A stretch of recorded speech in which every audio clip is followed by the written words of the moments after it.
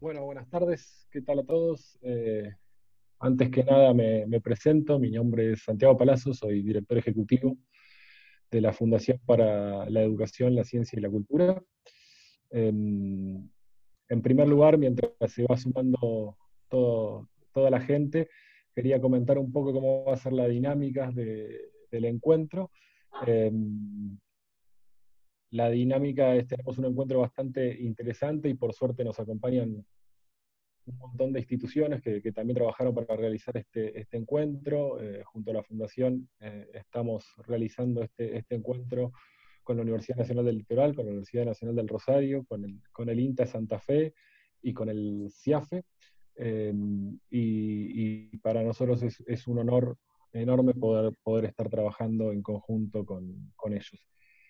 El encuentro primero va a tener presentaciones institucionales breves de, todas estas instituciones y después eh, uno de los editores de la obra, del Manual de Buenas Prácticas, eh, el ingeniero Francisco Damiano, va a hacer una presentación de lo que es el, libro eh, en general a nivel nacional y después parte del equipo del, capítulo de, Santa Fe va a estar haciendo la presentación puntual de, este capítulo eh, en la provincia. Los micrófonos, desde ya que salvo lo de los oradores, van a estar eh, muteados de, todos los asistentes, pero la idea es que al final del encuentro, a través de, del chat de, la plataforma Zoom o quienes estén viendo la transmisión por, por YouTube, a través del chat de YouTube, eh, pueden realizar preguntas. Vamos a estar seleccionando alguna de ellas y se las vamos a estar transmitiendo eh, al panel. Eh, ojalá que si nos da el tiempo podamos transmitir todas, pero, pero bueno, seguramente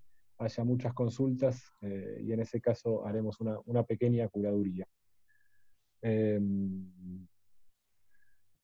si les parece, esperamos dos minutitos más que, se sigue que sigue ingresando gente y, ya damos inicio al evento.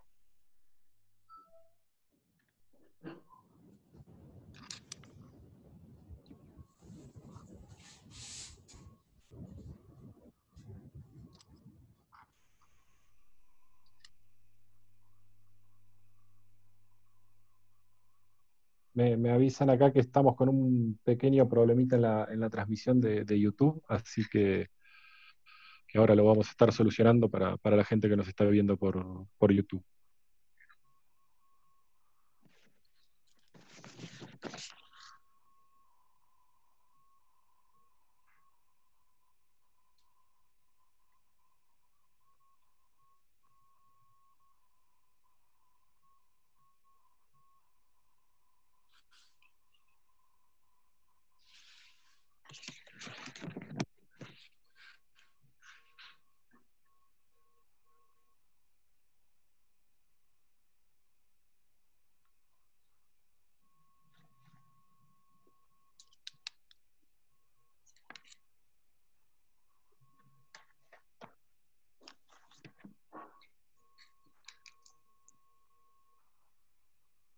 Bueno, siendo ya las, las 6 y 10, entonces damos comienzo al, evento. en primer lugar, eh, agradecerle, como, como, mencionaba recién, a, las instituciones que nos acompañan y que nos ayudaron en la organización del evento, a, la Universidad Nacional del, Litoral, a la Universidad Nacional de Rosario, al INTA Santa Fe y al, y CIAFE por su participación y, colaboración. Eh, también un agradecimiento especial a todos los autores del capítulo de, Santa Fe, em, que bueno, hoy van a estar representados eh, en tres de ellos que, nos contarán un poco de qué se trata y cuál fue el trabajo que realizaron y cuál es la situación de las, de las prácticas en, la provincia.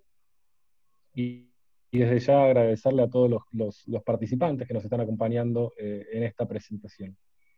Quiero ser muy breve para, antes de darle la, palabra al resto de las autoridades de las eh, instituciones, em, contando un poquito la historia de la fundación y la historia del, PROSA. La fundación tiene ya 49 años, fue pensada en la idea de nuestro primer premio Nobel de Ciencias, eh, Bernardo Usay, Lamentablemente él falleció unos meses antes de que, la fundación diera inicio a sus actividades, pero sus discípulos, continuando con su tarea, em, fundaron la, fundación, valga la redundancia. Eh, como bien dice su nombre, Fundación para la Educación, la Ciencia y la Cultura, tiene un objeto social muy amplio y, trabajamos sobre todo el, a través de centros propios de, diversas temáticas. Así es como tenemos un Instituto de Estudios Constitucionales, un centro de emprendimientos culturales, y entre ellos centros, uno de los más destacados es el PROSA, que es el Centro para la Promoción y Conservación de la Conservación del Suelo y del Agua, que es quien, quien nos está convocando con, esta obra en el, en el día de hoy. El PROSA nació también hace ya muchos años, es uno de los primeros centros de, de la Fundación, fue una idea y, su primer director y quien llevó a cabo todos los, comienzos y los inicios del PROSA fue el ingeniero Prego, que, como ustedes bien saben, em, fue un verdadero impulsor de la conservación del suelo en, la Argentina y un promotor de, esta temática.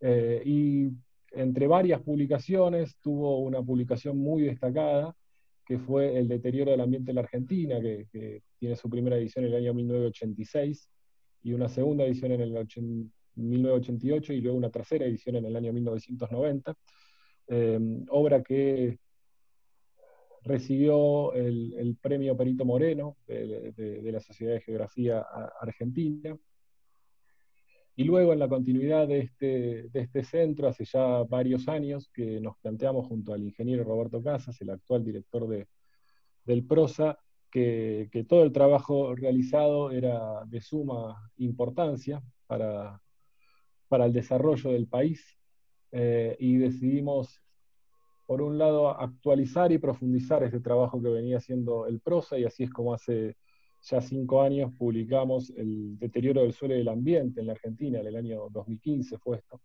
que es una obra que nos dio un diagnóstico muy importante sobre el estado de los, de los suelos en, la Argentina, siempre con una visión muy federal, una obra que también está hecha su división en capítulos provincia por provincia y de la cual participaron más de 150 autores y equipos de, de todas las provincias e instituciones también que trabajan en todas las provincias del país. Esta obra mereció dos premios. Eh, el premio Bicentenario de Independencia, también entregado por, por GAEA en el año 2016, y un premio internacional, eh, que fue el premio Santelices, entregado por eh, la, Sociedad Latinoamericana del Suelo. Teniendo el diagnóstico, nos juntamos junto al, ingeniero Casas y decidimos que era pertinente avanzar y decir esto no es solo un diagnóstico, sino que en la Argentina existen prácticas y están comprobadas prácticas de los sistemas productivos que em, trabajan en, la conservación del suelo y, así es como junto el ingeniero Casa, junto al ingeniero Damiano, quien después va a presentar la obra, em, decidieron encarar eh, esta, esta, obra que llevó un proceso de, de varios, varios años eh, de armado y que el año pasado pudimos editar y que hace un mes también tuvimos la, suerte de que, de que hayan sido premiada también con el premio al mérito geográfico por, por GAEA. Como les decía, para nosotros este es un trabajo sumamente importante y de, muchísima relevancia. Y continuamos en esta línea eh, y parte de, de, esta línea de trabajo es presentar esta obra y este trabajo eh, en todo el país, justamente entendiendo que eh, las herramientas virtuales como, como, es esta nos permiten estar en, eh, en, todas las provincias con los equipos que trabajaron en cada uno de los capítulos de, las provincias, hablándole directamente a, los productores y a los ingenieros agrónomos del, lugar y que tienen interés particular en esta temática. Así que esta, esta es la continuidad. El año pasado pudimos hacer de forma presencial algunas presentaciones en Tucumán, en, Paraná. Ahora estamos haciendo esta presentación en Santa Fe. Pronto, en un par de semanas, tendremos las presentaciones en la provincia de Jujuy, en la provincia de Corrientes, y nuestra idea es seguir continuando y llegar así a presentar esta obra eh, en, todo, el país. También en la, continuidad de este, de este trabajo es que mm, estamos trabajando por vincular el mundo agropecuario también con el mundo del derecho, que es otra de las ramas muy importantes con las cuales trabajamos en, la fundación y desarrollamos con el, Instituto de Estudios Constitucionales, que, también es, parte de los, centros de la fundación, y hemos lanzado una diplomatura en cuestiones agronómicas y jurídicas del, suelo y, del agua eh, para, para, seguir trabajando con esta temática y, y justamente poder vincular estos dos mundos que creemos sin lugar a duda que preparar profesionales eh, y, que, empiecen a, conocer un poco el, lenguaje del otro profesional de alguna manera va a ayudar al armado de políticas públicas para, el país para que podamos seguir trabajando en la conservación del suelo y del agua.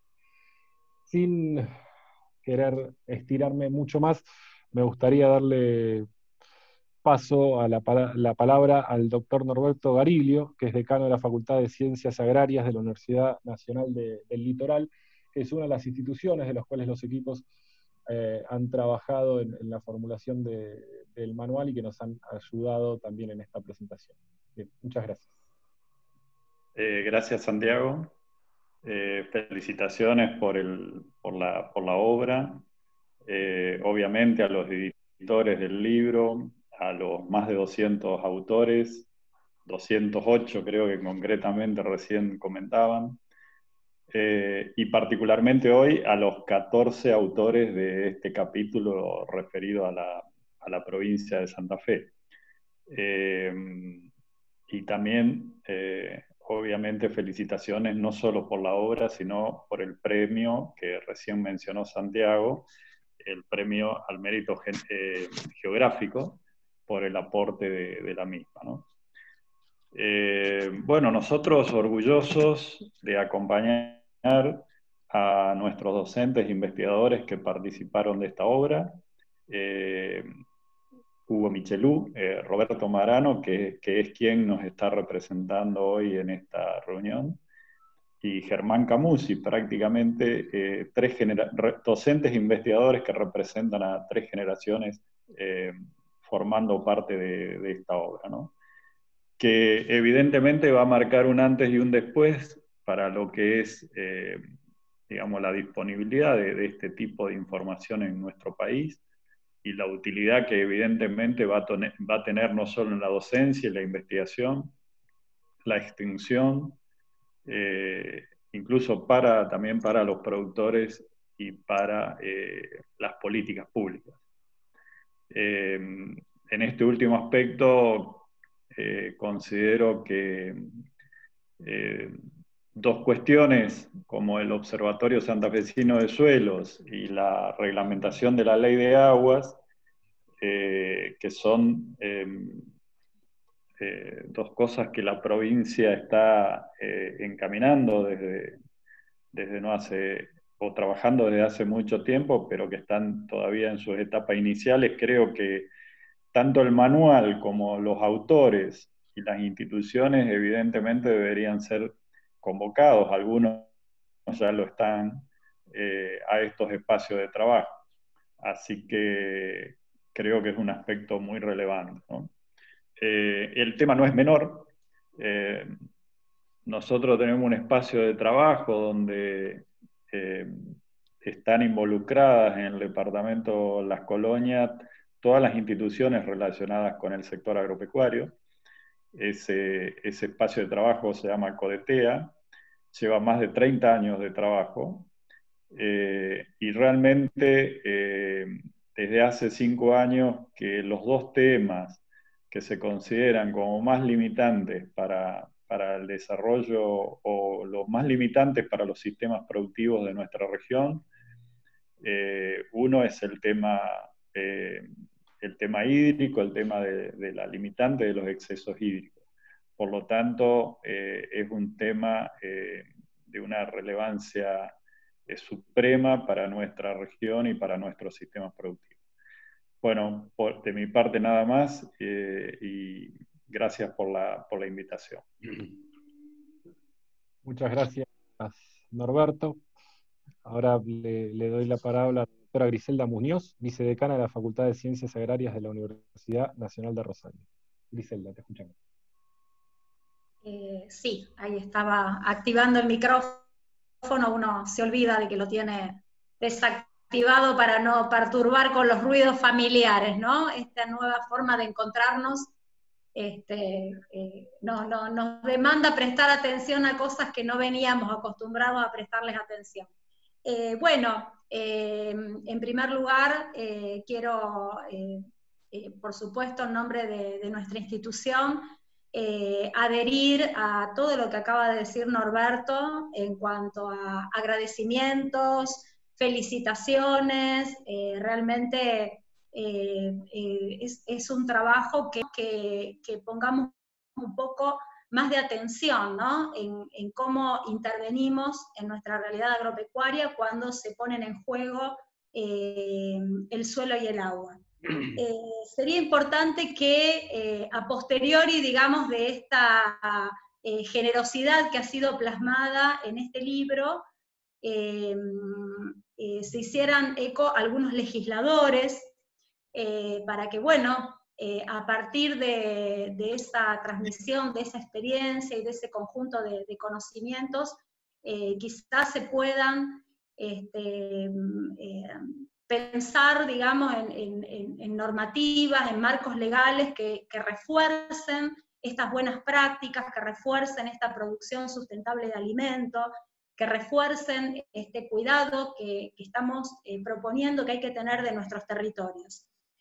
Y, bueno, y solamente eh, agregar que eh, me parece que es interesante poner de relieve Em, la, dinámica interinstitucional que se ha dado en este trabajo, porque muchas veces nos llenamos eh, la boca, los discursos, hablando de lo importante que es establecer vínculos entre las instituciones, pero sabemos que eso lleva un esfuerzo que a veces pasa de ordinario a extraordinario. Eh, hay mucha gente que tiene que, digamos, eh, trabajar y, trabajar, este, repito, de manera casi extraordinaria para lograr ese eh, ensamble entre lógicas de funcionamiento que a veces son, son distintas y que entonces, bueno, las intenciones nos convocan, los objetivos nos convocan, pero es todo un desafío a veces articular eh, lógicas de funcionamiento distintas. Entonces, eh, también eh, realmente celebro que finalmente eh, haya un producto interinstitucional tan concreto, digamos, ¿no? Y, tan aplicable y tan útil para, bueno, todos los que hoy han tomado el desafío de hacer un mejor uso y, comprometerse con la conservación de estos recursos naturales. Así que bueno, y como corresponde, eh, una felicitación eh, en especial, bueno, para los docentes de la casa, está,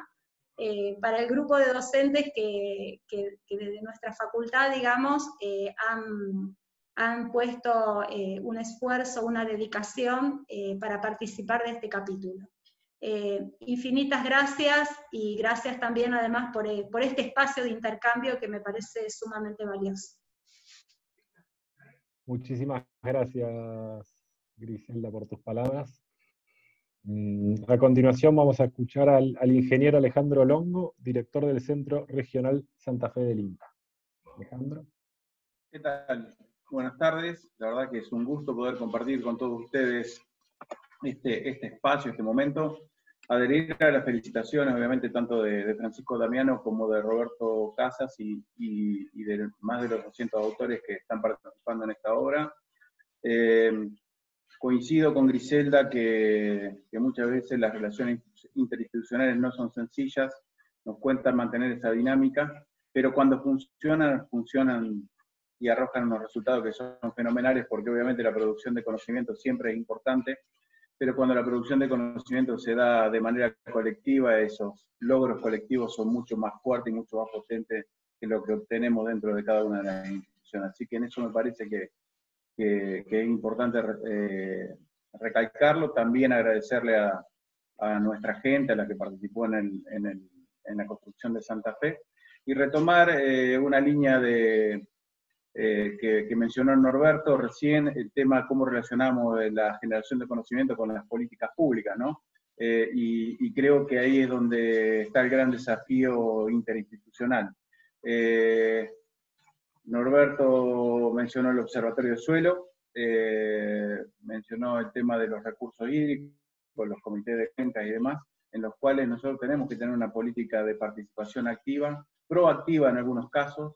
El Observatorio del Suelo me parece que es un ejemplo de, eh, que pudimos llevar adelante las instituciones que formamos parte de eso y, poder hoy continuarse con esa política, tal vez con alguna mirada diferente, con algún otro enfoque que tengan los, los eh, gobernantes de turno, pero, me parece que aportar técnicamente a las, a las políticas públicas creo que es importante y es nuestro deber, ¿no? Como, instituciones o como organismos. Después que esas políticas públicas puedan resolverse con cuestiones técnicas, hay otro cantar. Digamos, ahí me parece que, ya no tenemos mucho para dar. Y, creo que hay una relación que hay que tener con los legisladores provinciales, que nosotros eh, nos hemos propuesto ser proactivos desde INTA, desde el Consejo Regional. Eh, ya llevamos tres reuniones de, de, Consejo Regional donde estamos convocando a los distintos bloques. Tuvimos un primer encuentro con el bloque justicialista, un segundo bloque con el, Frente Progresista y en el día de ayer con eh, Juntos por el Cambio. Nos faltan dos bloques más.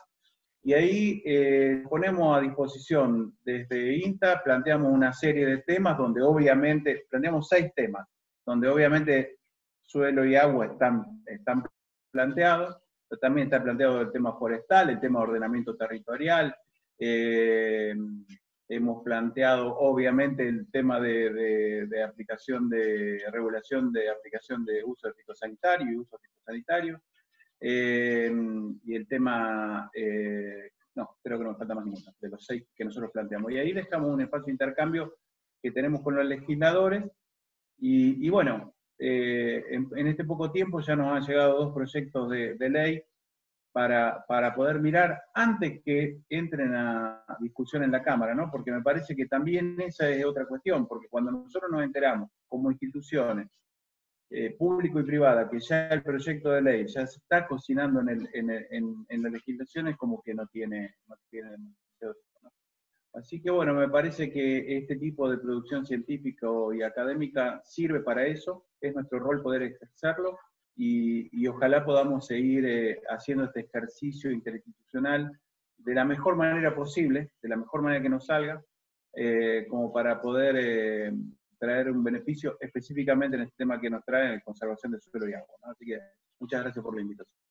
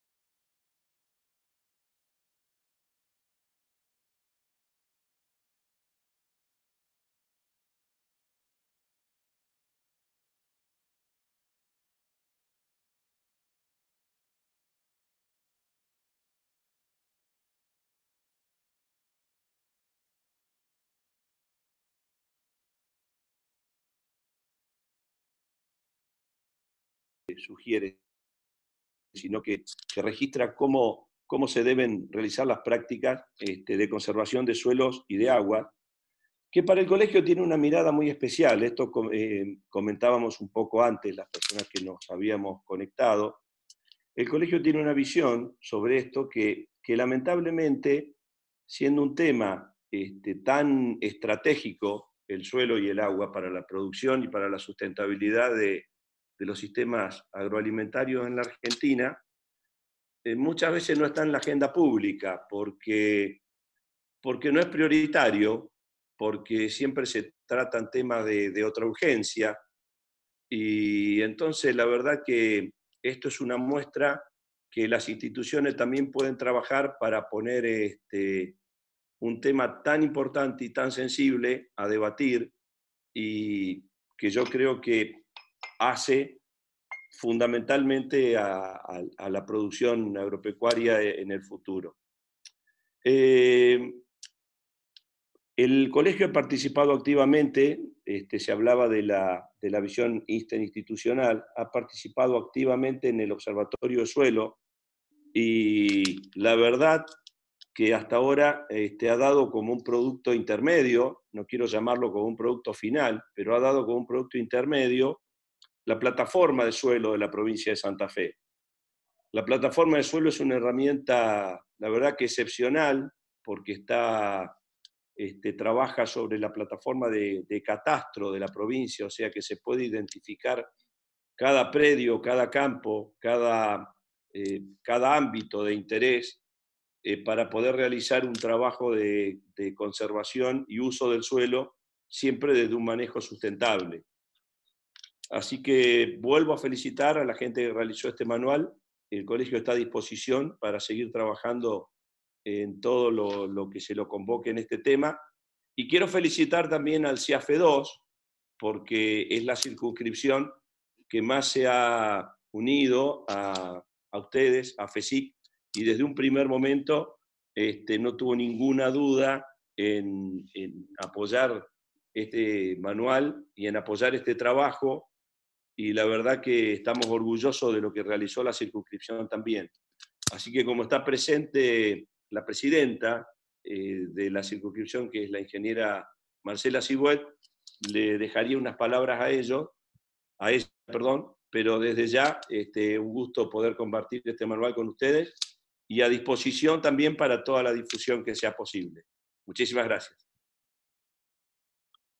Muchas gracias, José. Marcela, no sé si quieres decir unas palabras, sí. Eh, bueno, eh, simplemente, en principio agradecer, nuevamente ya lo dijo José, agradecer y felicitar, coincido con él, que son, es lo más importante que podemos hacer como aporte. También resaltar la importancia, lo dijo Griselda, eh, lo dijo Alejandro, resaltar la importancia de la generación de vínculos y los espacios de participación interdisciplinaria, eh, entre organizaciones que propenden el cuidado de los bienes comunes, como decía antes, nuestros recursos son bienes, bienes comunes que tenemos que proteger porque son de todos. Por otro lado, el fomento de las, de las buenas prácticas en distintas regiones geográficas y particularmente en este capítulo que es la presentación de Santa Fe. Para nosotros el concepto de buenas prácticas tiene un marco amplio de, actuación, pero como dice en el prólogo del, del manual, más de 200 prácticas, buenas, buenas prácticas aplicables, eh, de alguna manera nos garantiza el logro de producciones sustentables y, solvencia alimentaria para nuestro país. Eh, y con respecto a nuestra institución, eh, nosotros estamos aquí fundamentalmente por el nexo que hemos tenido a través de un convenio que hemos formalizado con, con la Fundación. Este, por supuesto, agradecer eh, no somos una institución generadora de conocimientos, eh, pero sí somos consumidores de información y de capacitación. Tenemos eh, una amplia cartera de asociados que nosotros llamamos profesionales matriculados, este, que necesitan en la diaria este, y en el trabajo a campo garantizar las producciones sustentables. Así que nuevamente felicitaciones a todo el equipo, a los autores, como dijo Griselda, a los, a los maestros de nuestra casa, que es Santa Fe. Eh, una mención especial para el ingeniero Monticos, que es un profesional eh, de indiscutible trayectoria. Eh, y bueno, agradecer y paso mi palabra. Muchísimas gracias, Marcela. bueno, con esto finalizamos la, primera etapa del, encuentro, que eran las palabras de, todas las instituciones que han sido parte de, de de esta presentación. Ahora sí, ya entrando de lleno en lo que es la presentación del, manual, eh, la presentación del manual a, nivel general, a nivel nacional, de lo que fue el libro, está a cargo de uno de los editores de este libro, que es el ingeniero agrónomo eh, Francisco Damiano. Francisco, muchas gracias, te escuchamos.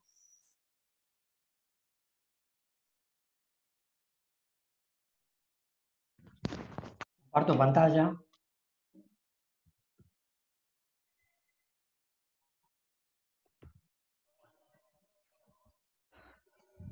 Está la pantalla, ¿están viendo la pantalla? Todavía no, pero ya, ya seguro que ahora en un segundito ya la empezamos a ver.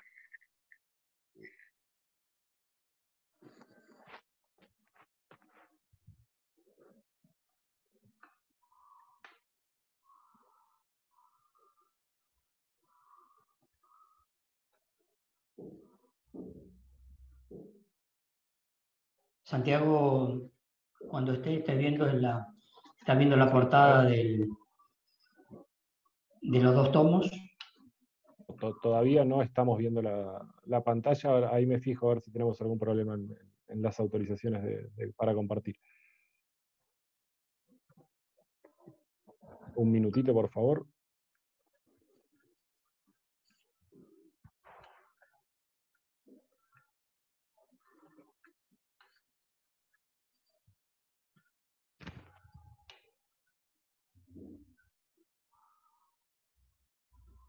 ¿Nos figuras habilitado para compartir?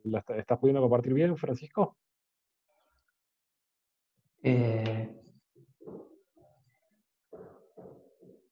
sí, ahí compartir pantalla, estoy dando.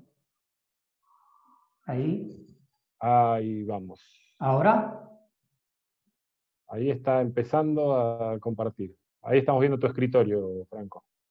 Ahí está. ¿Ahora? Ahí, está el escritorio de tu compu, tendrías que abrir la presentación. Ahí está. Sí. Bien, se ve ahí ya. Ahí está, ahí sí estamos viendo ya. Bueno, bien. Eh, buenas tardes a todos. Eh, muy agradecido por las palabras de los que me precedieron en esto. Y bueno, con Roberto, Roberto Casas eh, le damos la bienvenida eh, a todos. bueno, simplemente eh, presentar eh, esta obra de la cual va a estar delineada en cuál fue la estructura del, manual, el contenido y, los alcances en general del libro. muchas de las, algunas de las transparencias que tengo ya fueron, fueron dichas por los anteriores, donde participaron eh, investigadores y instituciones privadas y públicas, 208, y como bien dijo Santiago, este, es, eh, este libro o este manual eh, es, sigue en saga a otras publicaciones que hizo Prosa desde la década del 80. Así que paso directamente, ya que fue muy bien explicado por Santiago cuál es la actividad de Prosa dentro de FSI.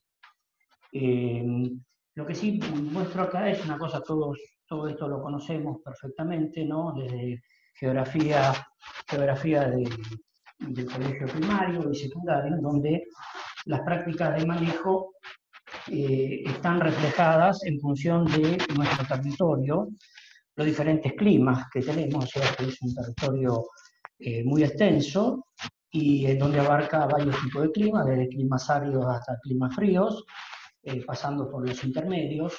Eh, así que están viendo a la izquierda un clásico mapa de tipo de climas que se explican en, cualquier eh, establecimiento escolar.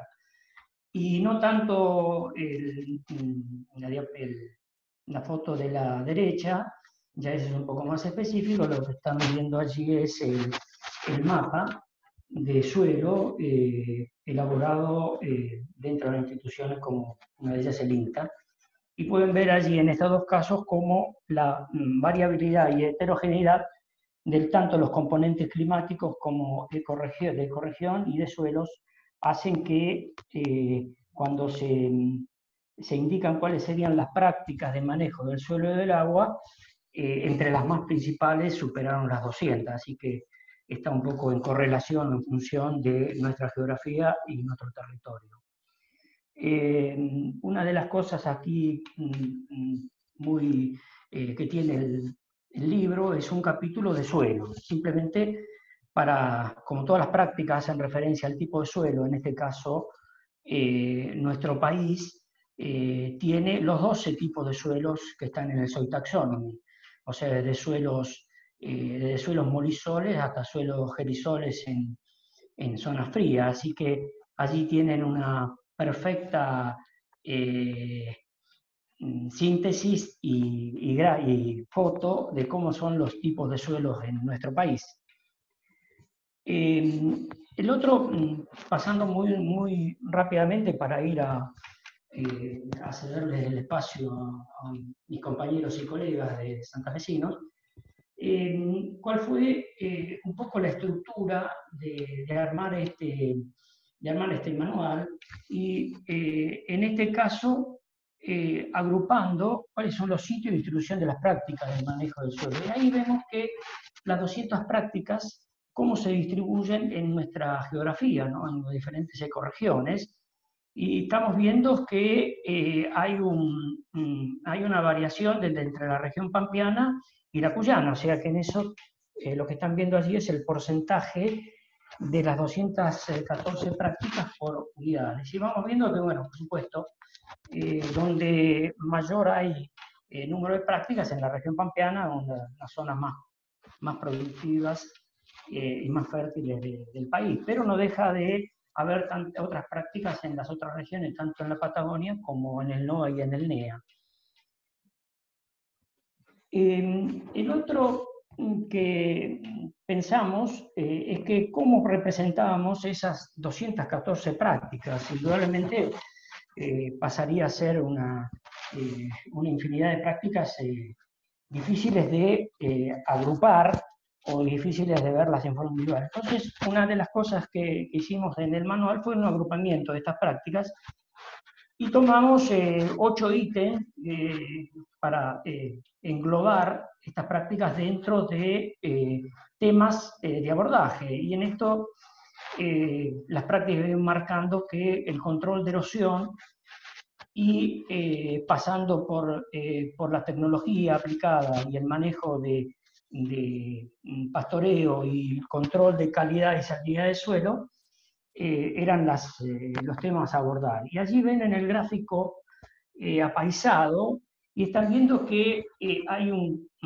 claro indicador de que, bueno, que las prácticas de control de erosión, tanto eólica como hídrica, ocupan el mayor, la mayor cantidad, sin dejar eh, por supuesto, las otras que también son importantes porque cada una de ellas, en algunas son muy importantes en lugares muy específicos de nuestro país.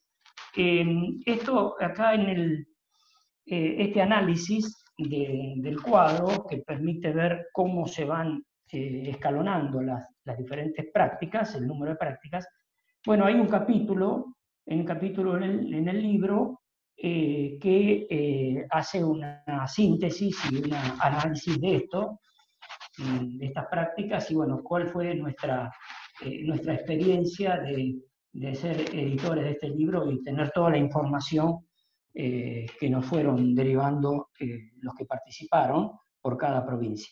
O sea que el libro consta de 23 capítulos que cubren nuestras 23 provincias, y el capítulo 24 de suelo y un capítulo este, de una síntesis general de las buenas prácticas. Eh, está en el libro, pero también esto, para aquellos que no tengan el libro, no han podido acceder al libro, eh, entrando en la página de FECIP, eh, esto está en, en, la web de la FECIP y lo pueden leer desde allí. otra de las cosas los cuales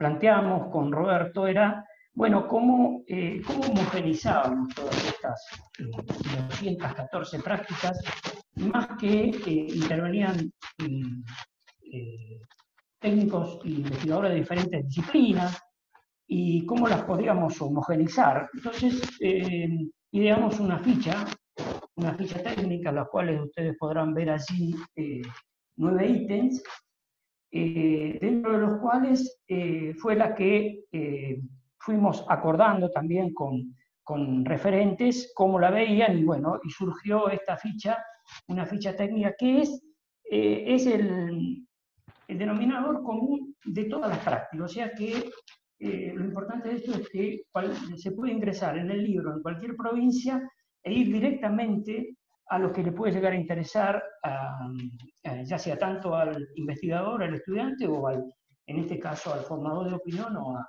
a, los políticos. Y vemos que, eh, como ahí nombraron, de que hay una cierta eh, mm, disociación o a veces no buena concordancia con la, mm, clase eh, política. Eh, en el último, eran en el 9, que hay normativas legales. Así que todos los, los, referentes y los que han escrito han hecho un esfuerzo muy grande en poner en cada provincia cuáles son las normas legales que hacen a la conservación del suelo y agua. Y se van a sorprender la cantidad de normas y leyes, además de las nacionales entrando ya directamente en, las buenas prácticas, allí podrán ustedes ver el mapa de ecoregión de nuestro país y a la derecha eh, el mapa de ecoregión de la provincia de Santa Fe.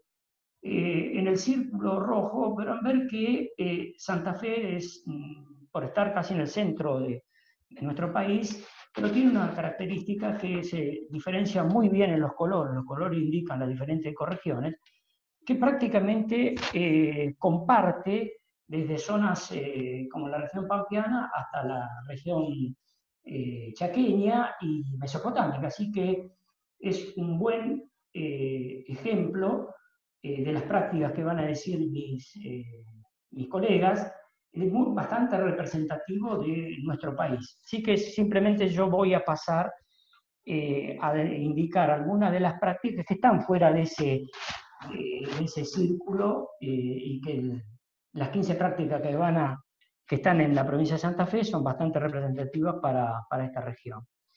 Eh, para comenzar por, por, la zona sur, en la Patagonia, eh, indudablemente lo que he tomado algunos ejemplos que por ahí no son muy visibles, pero que sí son de mucha importancia.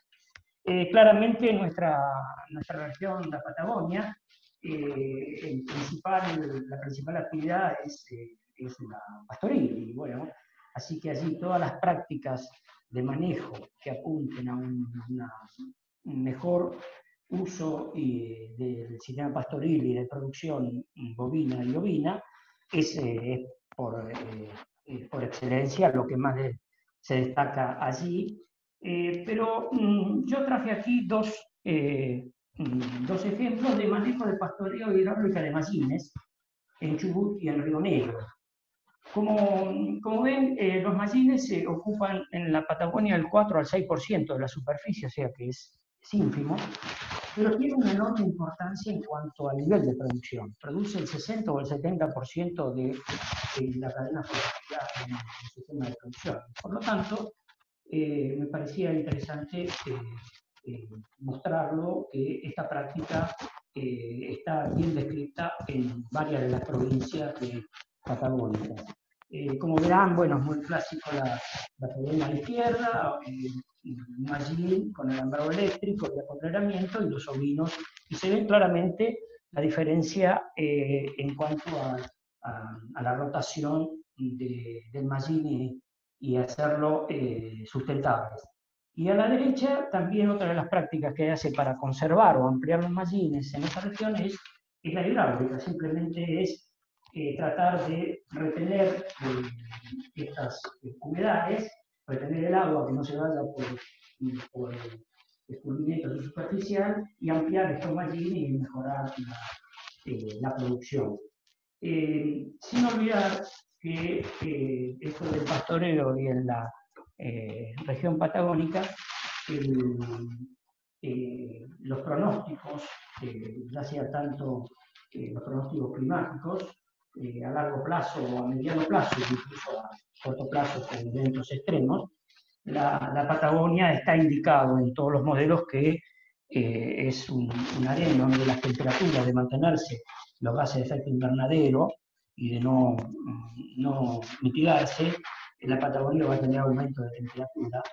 Y la práctica, aumento de temperatura y, aridez, o sea, déficit hídrico, y allí todo esto redactado, estas prácticas en las provincias de la Patagonia, eh, son muy importantes porque son las que permiten, y lo único que se puede hacer, el clima no se puede cambiar, mm, se puede mitigar, eh, lo que las prácticas eh, permiten es, a través del pastoreo y un mejor uso de la vegetación y prácticas de conservación, permiten que pueda mitigar o adaptar a lo que es el, cambio de aumento de temperatura en esta región. Eh, la siguiente también es lo que ocurre en esta región, es una zona ventosa, indudablemente, y la formación de, médanos que obstruyen caminos, eh, tapan alambrados y infraestructura eh, vial, y, también desertificación, es la otra. Entonces, otra de las prácticas de control y estabilización de médanos y dunas, que ahí podrán ver a izquierda un médano fijado por por especies adaptadas, el Ilus arenarius, y a derecha cómo se trabaja a través de escarificación y siembra de especies adaptadas en, estas áreas, tanto en Chubut como en Santa Cruz, pero esto es repetido en, todas las provincias eh, de, la, de, la, Patagonia. Eh, el, otro, el otro tema ya pasando a la, subiendo en el mapa, pasando a la, a la región cuyana, ¿no? Eh, un ejemplo aquí que me parece que un poco eh, alguien mm, hablaba de la transferir esto y la experiencia y, la extensión. Eh, traje este ejemplo en una práctica que mm, escribieron la gente de San Juan, potrero de reserva. Esto también es representativo en La Rioja, en Catamarca, este tipo de cosas donde son provincias eh, más del 95% San Juan de eh, seca, árida, y esta práctica eh, de potreros reserva para manejo de la, de la, parte caprina o bovina en la comunidad de Yagua, en el Perdento 25 de mayo, y una de las cosas importantes que quería resaltar es el mapeo participativo. Y ustedes podrán ver allí que es la gente de, esta comunidad, eh, con seguramente algún responsable, tanto provincial o, alguno del INTA, con un mapa de Google.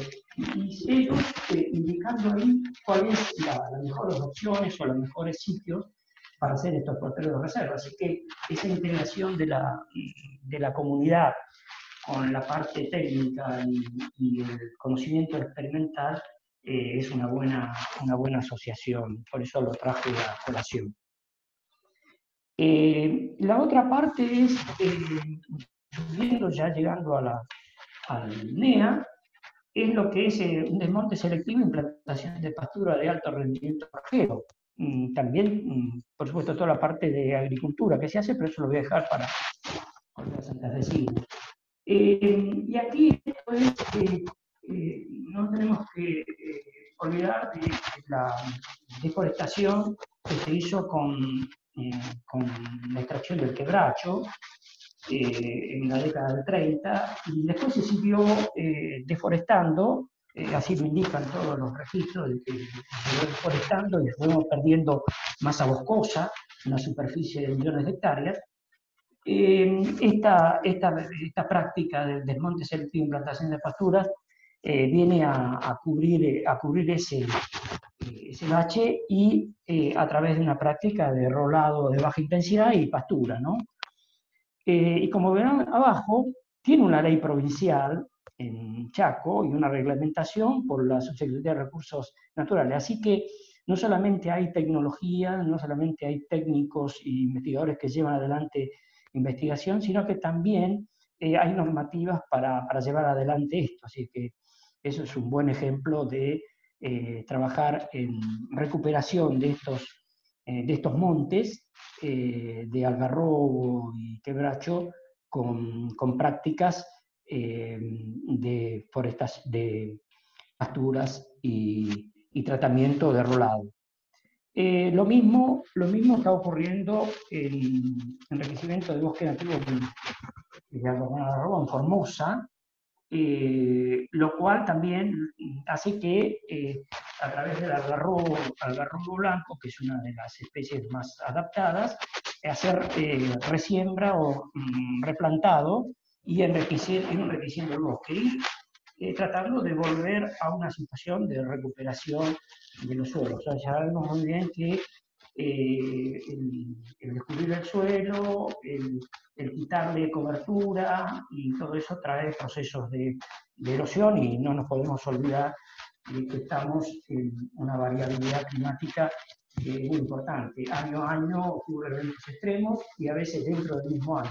Que la variabilidad interanual eh, es, más allá del cambio climático, es lo que eh, tenemos presente para cualquier sistema de producción actual. Eh, y por último, dentro de estas de las prácticas, eh, traje aquí la práctica que en Salta, el manejo del suelo y del agua a nivel de cuenca hídrica. en una cuenca metán, ahí en el, departamento de Güemes, creo, me está tapando, el departamento de Güemes, las cosas, y vemos que eh, también aquí se da la, la unión de, de tener un decreto por decreto llevar adelante información de consorcios, que bien lo hicieron una de las, eh, de las convocatorias de asociarse, eh, los que producen y, los organismos eh, públicos en manejos sustentables a nivel de cuenca. Allí podrán ver una zona, el NE, el NOA, donde tenemos pendiente del 5%, pero entramos en el área de llanura, donde se, también aquí ha ocurrido deforestación, en donde encontramos eh, un área de plana y aquí la, fuerza erosiva, eh, si no hay control, eh, genera realmente erosión hídrica muy severa. Tenemos ejemplo en Tartagal y en otros tantos lugares de, de Salta con esto. Pero así que tenemos, hay normas, hay formación de consorcios, así que también es importante que manejar a nivel de cuenca. Esto, manejar a nivel de cuenca, fue indicado por casi todos los, eh, los que redactaron los capítulos. Más allá de, del lote o, de la región, es eh, el manejo de suelo y agua requiere este enfoque de cuenca y hay una, eh, una normativa, o sea, hay 49 principios rectores de manejo de política hídrica en la República Argentina y el número 25 hace referencia que la cuenca es la unidad eh, por excelencia para el manejo integral del suelo y del agua. Así que también tenemos normativas en eso. Y mm, por último, también en el capítulo redactado, lo que he puesto una síntesis de acá de la superficie estimada de aplicación de las buenas prácticas.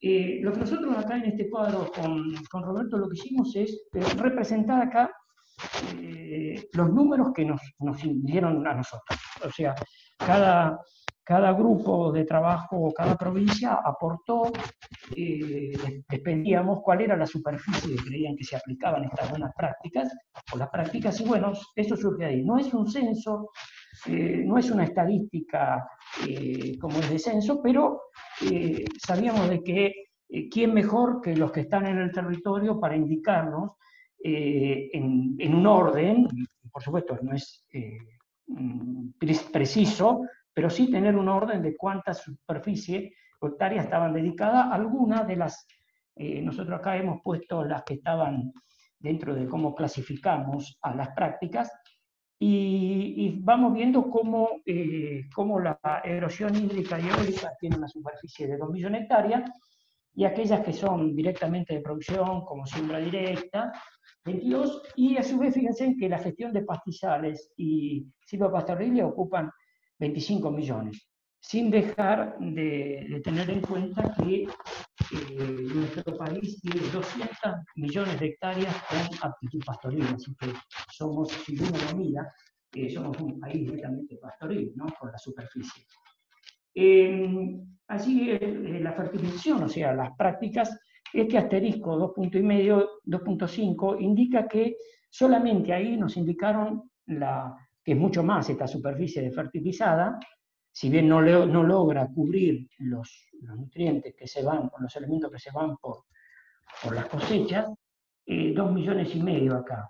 Pero es solamente en el núcleo central de nuestra región pampeana, lo que sería el este de Córdoba, sur de Santa Fe y norte de Buenos Aires. Así que la, esta, superficie es mucho mayor. De cosecha de agua, algo muy, muy relevante en los últimos tiempos, eh, y porque eh, la falta de agua, ya sea tanto para bebida humana o animal, fundamentalmente en todo lo que son las provincias del norte, eh, ha sido clave. ¿no? Entonces allí hay muy, hay muy, buena, eh, muy buenos eh, especialistas trabajando y promocionando y llevando adelante estas prácticas para mejorar la calidad y la disponibilidad de agua en, el territorio del norte y también de la zona cuyana. También, bueno, hay un millón de hectáreas en, en todo lo que sea recuperación o tratado de hidromorfismo, alomorfismo imagine. Por último, los cultivos de cobertura, que es una práctica hoy prácticamente eh, eh, está en noticias de todos los, portales, el cultivo de, cobertura, y ahí tenemos una cifra de medio millón, 0,4 400 mil hectáreas, pero creemos con Roberto que eh, es lo que nos informaron, que la superficie es mucho mayor, de esta.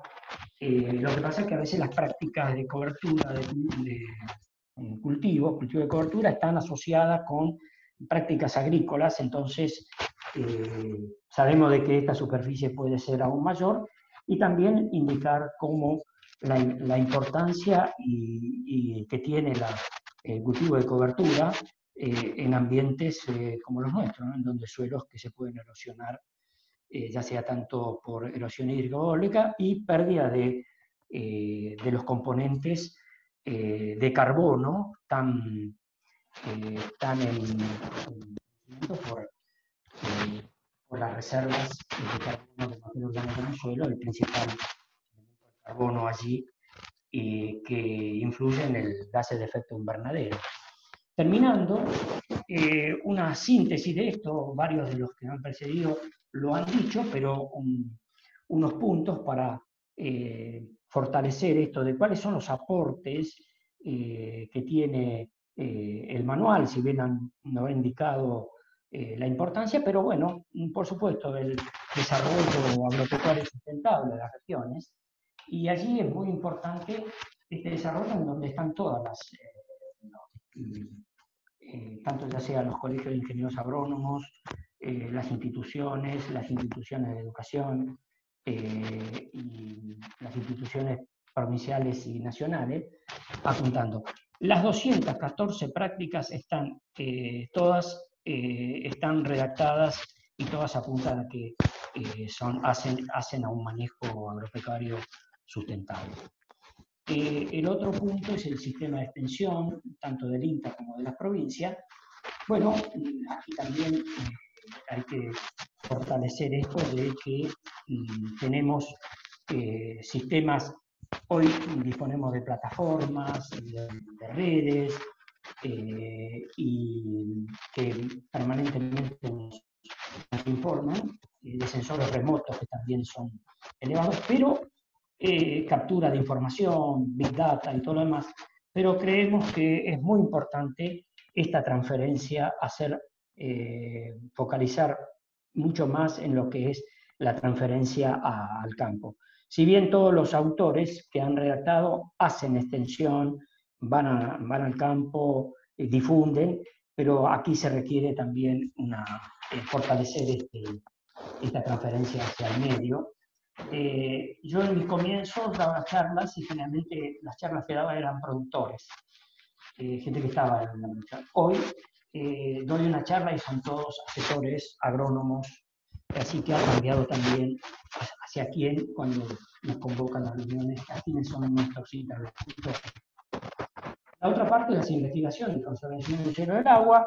Eh, no voy a entrar mucho más en detalle esto, pero eh, tenemos, tenemos herramientas, tenemos conocimiento, tenemos tecnología, pero bueno, eh, siempre nos falta, nos falta por nuestro territorio, ¿no?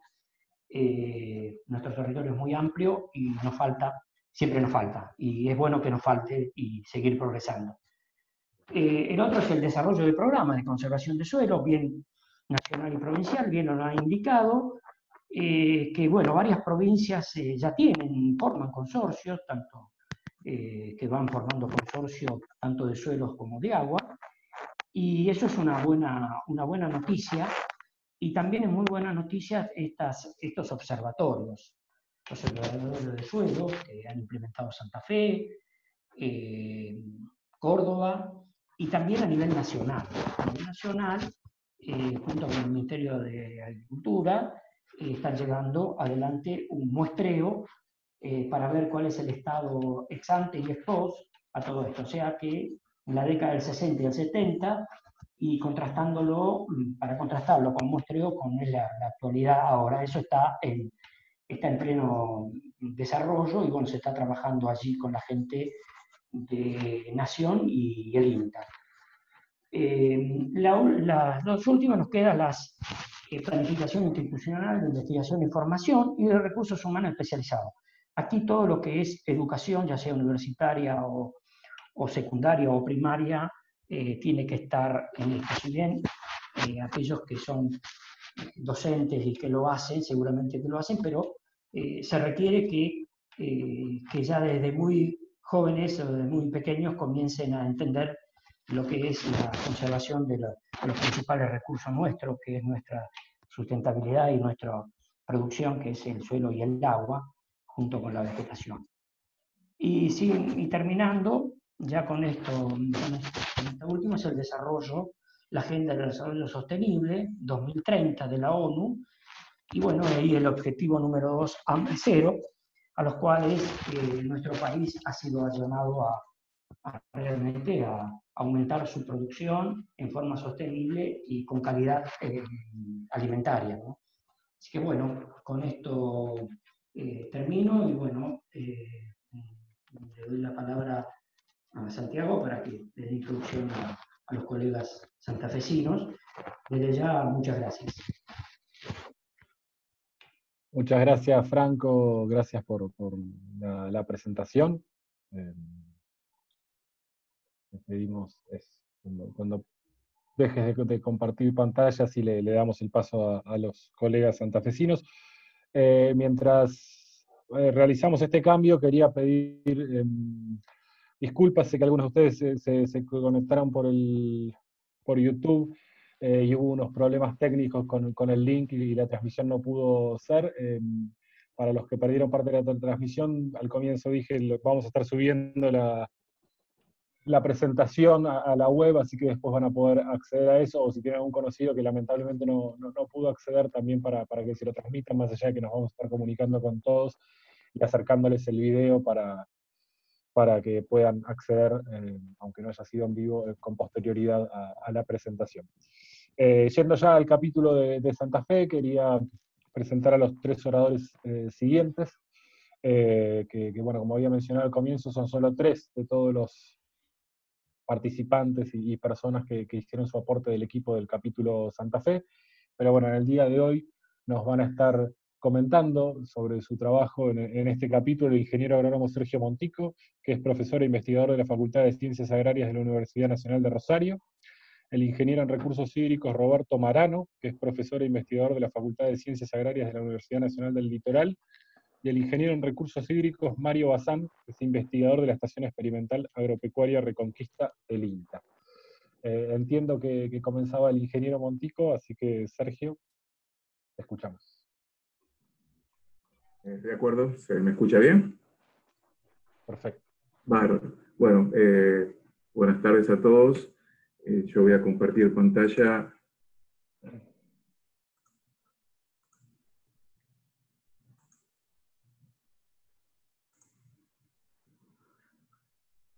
Dígame si tiene buena visual, ¿sí?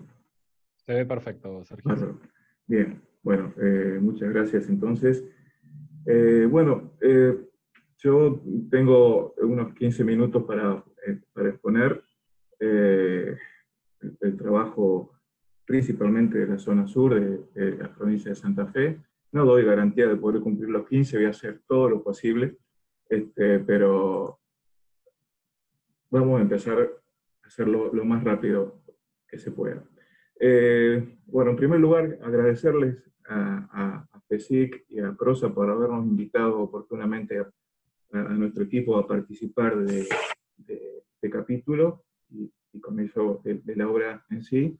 Este, nos sentimos muy honrados, oportunamente ya estuvimos participando en la obra del 2015, cuando nos tocó aportar el capítulo Santa Fe respecto a erosión hídrica y degradación de suelos, así que nos volvieron a invitar y, agradecidos también de, compartir este espacio con los colegas de UNL y, de INTA.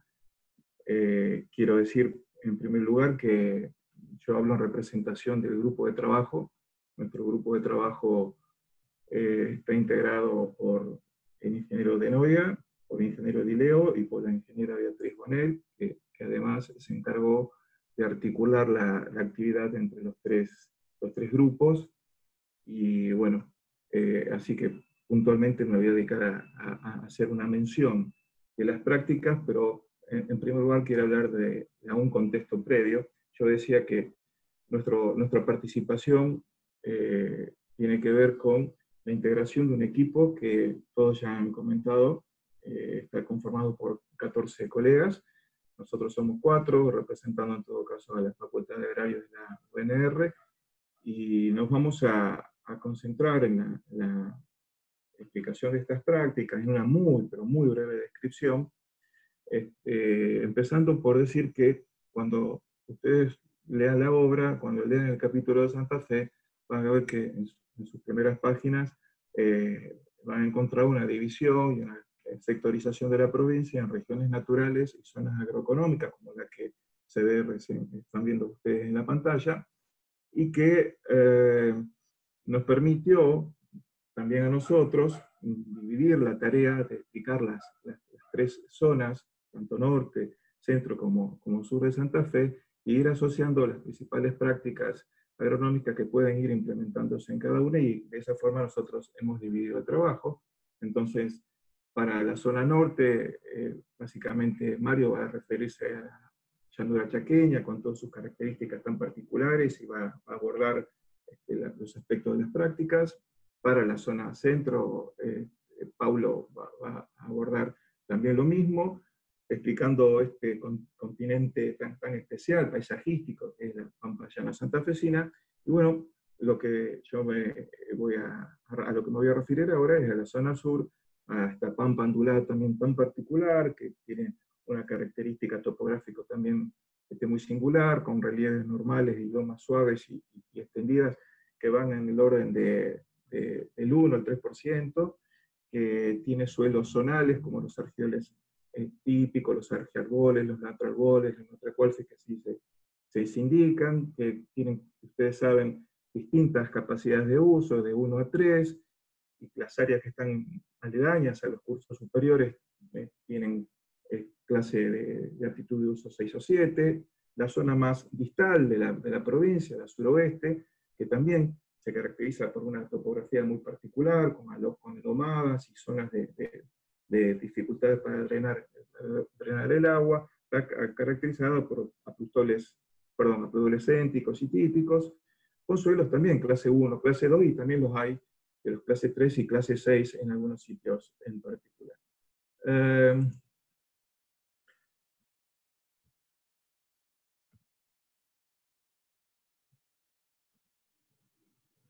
es, muy común que si nosotros empezamos a recorrer la región, veamos estas ilustraciones. ¿no? Eh, es muy común que en distintos momentos del año transitemos por los, caminos y las rutas de, de nuestra región del centro-sur de la provincia de Santa Fe, más precisamente al sur de la provincia, encontramos estas, estas figuras. ¿eh? Presentaciones de, problemas de erosión, cuestiones vinculadas a, la dinámica del agua. Eh, como que necesitamos definir en un, en un, principio para poder acordar las prácticas, decir cuáles son los procesos primarios que generan la degradación de nuestros suelos. Los procesos primarios nosotros reconocemos como aquellos que están vinculados estrictamente a la erosión hídrica, a las inundaciones y aquello que reconocemos como degradación por gestión. Cuando decimos degradación por gestión nos estamos refiriendo a degradación por manejo, ¿no? todas aquellas cuestiones de degradación de suelo vinculadas aspectos biofísicos fundamentalmente. Entonces estos procesos primarios son los disparadores de otros procesos secundarios que dan origen después a la formulación de prácticas, para poder revertir las limitantes que estos originan. Entonces, cuando hablamos también de procesos secundarios ligados a los primarios, podemos mencionar lo que ustedes ya conocen, pero vamos a, pasarlo muy rápidamente, como aspectos que están relacionados con la degradación de los suelos y del agua, aspectos relacionados con la sedimentación. Todos sabemos que el agua, cuando se mueve, transporta partículas en suspensión y cuando se va frenando en algunos sitios, se va deteniendo en su derrotero porque hay una disminución de la pendiente. Además, se producen sedimentaciones y, como consecuencia de eso se producen alteraciones en la dinámica hídrica, también la contaminación de suelo y contaminación de agua asociada a, por ejemplo, la presencia de sustancias derivadas de los efluentes pecuarios, hasta de locales, hasta también la presencia de principios activos de algunos productos químicos que se utilizan para el control de adversidades. También como procesos secundarios reconocemos aquellas disfuncionalidades ecosistémicas que se nos presentan respecto fundamentalmente a la capacidad de soporte, de autorregulación eh, de, los ecosistemas, al deterioro de infraestructuras. Estamos este, habituados a recorrer la región y asociado básicamente a los procesos de erosión o a, una dinámica este, hídrica bastante traumática, reconocer problemas de obturación de alcantarillas, problemas en los caminos, en los badenes, en los puentes. Eh, todo esto eh, va conspirando contra el valor de los bienes, ¿no? Empezamos a, recorrer la región y vemos que hay pérdidas importantes del valor de los bienes que hacen a, la construcción y a la constitución del territorio. Todo esto, por cierto, va impactando en la degradación de, de la calidad de vida de la gente y como corolario, obviamente, en un desordenamiento desordenamiento territorial. Eh, esta conjunción de procesos primarios que disparan a, procesos secundarios generan improntas. Estas improntas que se generan en el territorio, nosotros las reconocemos como, limitantes cuando hablamos de suelo, limitantes del suelo de la productividad, que tienen que ver con los procesos de deterioro que se van dando en diferentes ambientes de acuerdo a las particularidades de cada uno del centro-sur de la provincia. ¿Y cuáles son las limitantes, nos preguntamos, más comunes, a las cuales estamos habituados a, ver en los, campos. Si hablamos de las condiciones físicas mecánicas, y podemos llegar a nombrar estas como reconocemos de las compactaciones, la presencia de costras, de pisos, de pisoteos, de amasado de, suelo, aquellas relacionadas con la estabilidad estructural, reconocemos condiciones físico-mecánicas asociadas a una baja estabilidad estructural, a una baja permeabilidad, a una baja porosidad, una pérdida de la capacidad de circular aire y gases, fundamentalmente en el suelo, a condiciones adversas para el crecimiento de las raíces. Estas limitantes que se van disparando como consecuencia de estos procesos que decía recientemente, los primarios que disparan a los secundarios, también generan limitantes de orden físico-químico.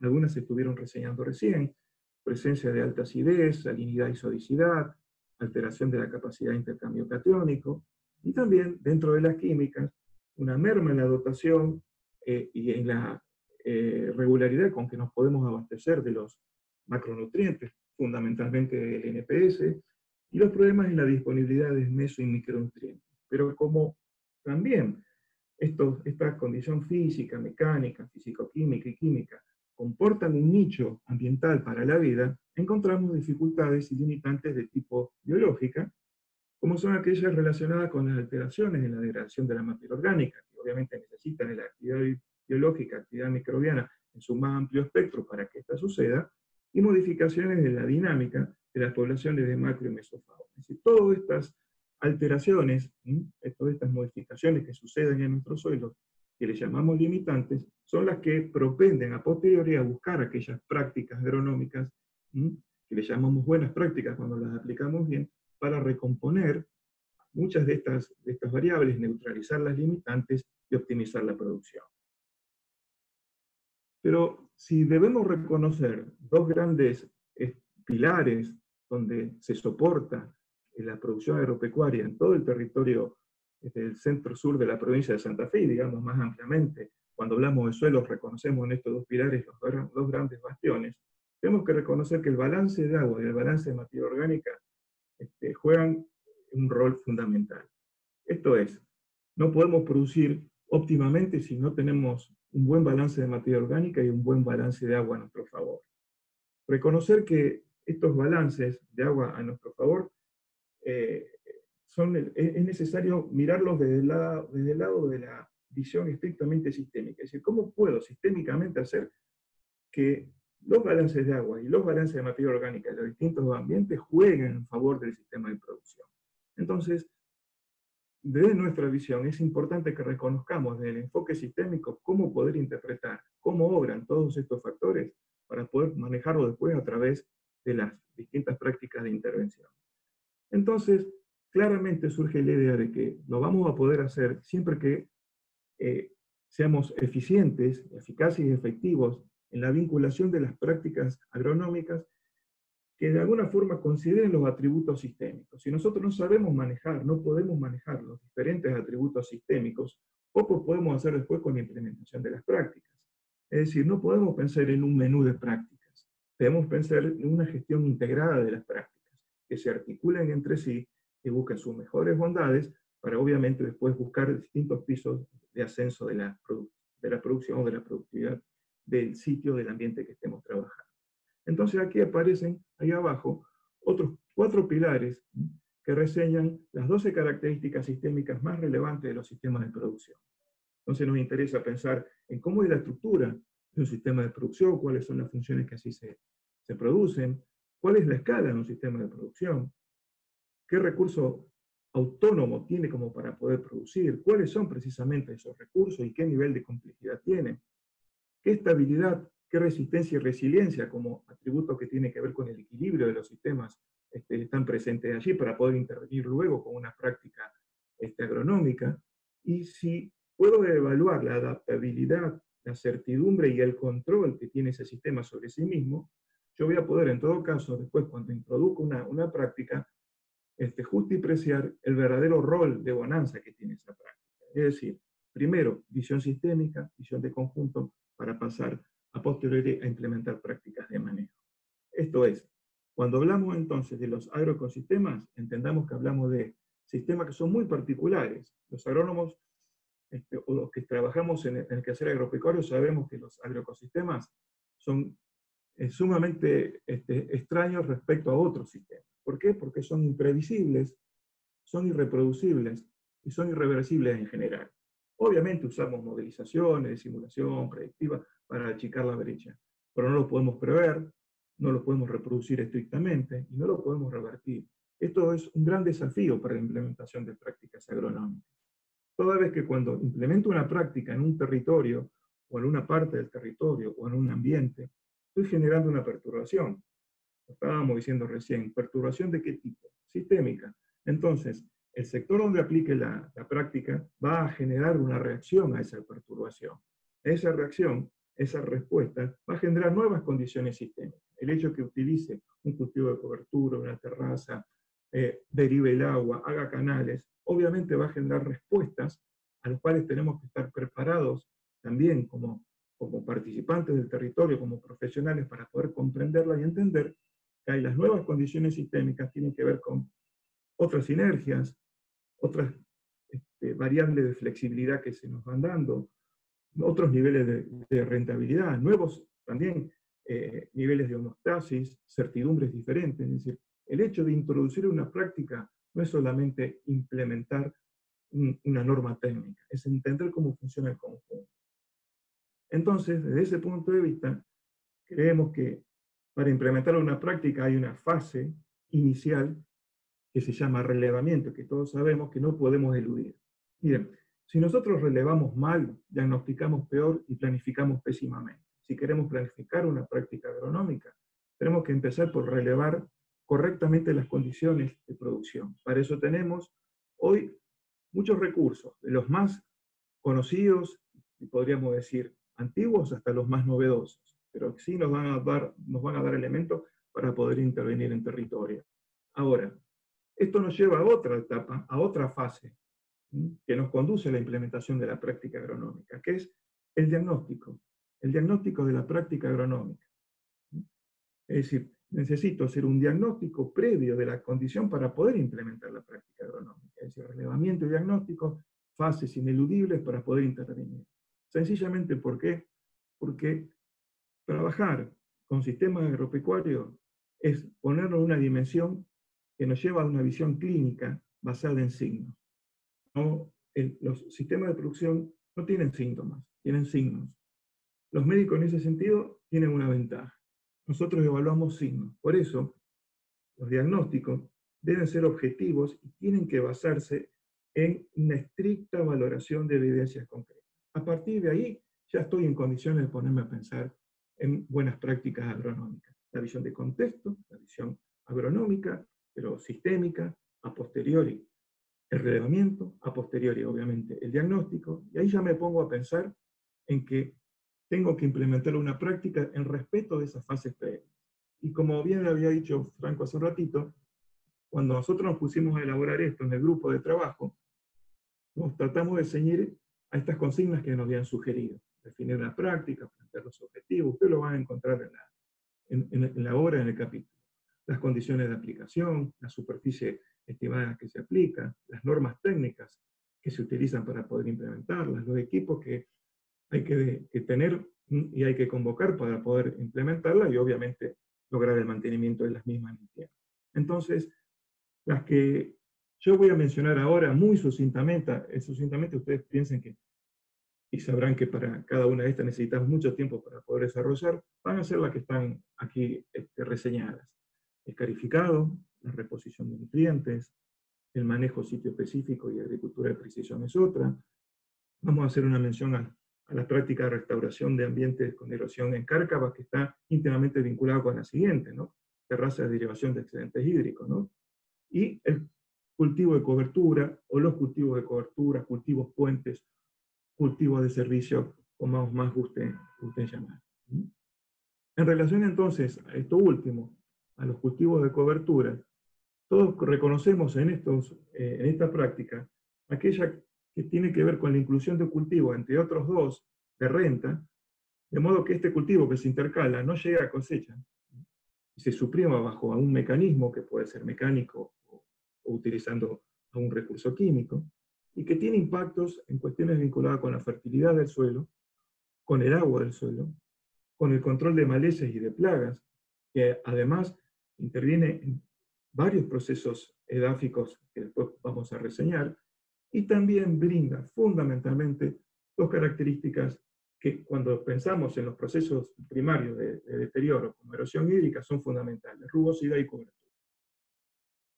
Otra práctica agronómica de interés es la del escarificado, increciendo con algunos pulsos, pero entendemos que puede llegar a, a seguir creciendo en función de que está ofreciendo una característica particular, que es labrar un suelo, aún en, un planteo de siembra directa, labrar un suelo con herramientas de corte vertical que no invierten el pan de tierra, pero que ayudan a neutralizar condiciones mecánicas del suelo, de modo tal que benefician cuestiones o aspectos vinculados a la dinámica del agua, al acceso de las, de las raíces de los nutrientes, tanto sean de cultivos como de pasturas, y en general a construir un ambiente más favorable para aquellas situaciones donde las condiciones físicas mecánicas diagnosticadas previamente así lo indican. La reposición de nutrientes es otra práctica de interés que nosotros queremos este, y quisimos también fortalecer en, en, la zona sur de Santa Fe. Y ustedes saben a qué nos estamos refiriendo. Es la forma en que nosotros estoqueamos nutrientes, suministramos nutrientes al suelo, aquellos que fueron empobrecidos por un uso continuo y que este, virtualmente nunca fueron repuestos, y que de alguna manera pretende balancear los nutrientes para que los usos sucesivos puedan encontrar ese stock necesario este, para beneficiarse tanto en la producción de fitomasa, la producción de, de, de, hojas, la producción de frutos, la producción de grano.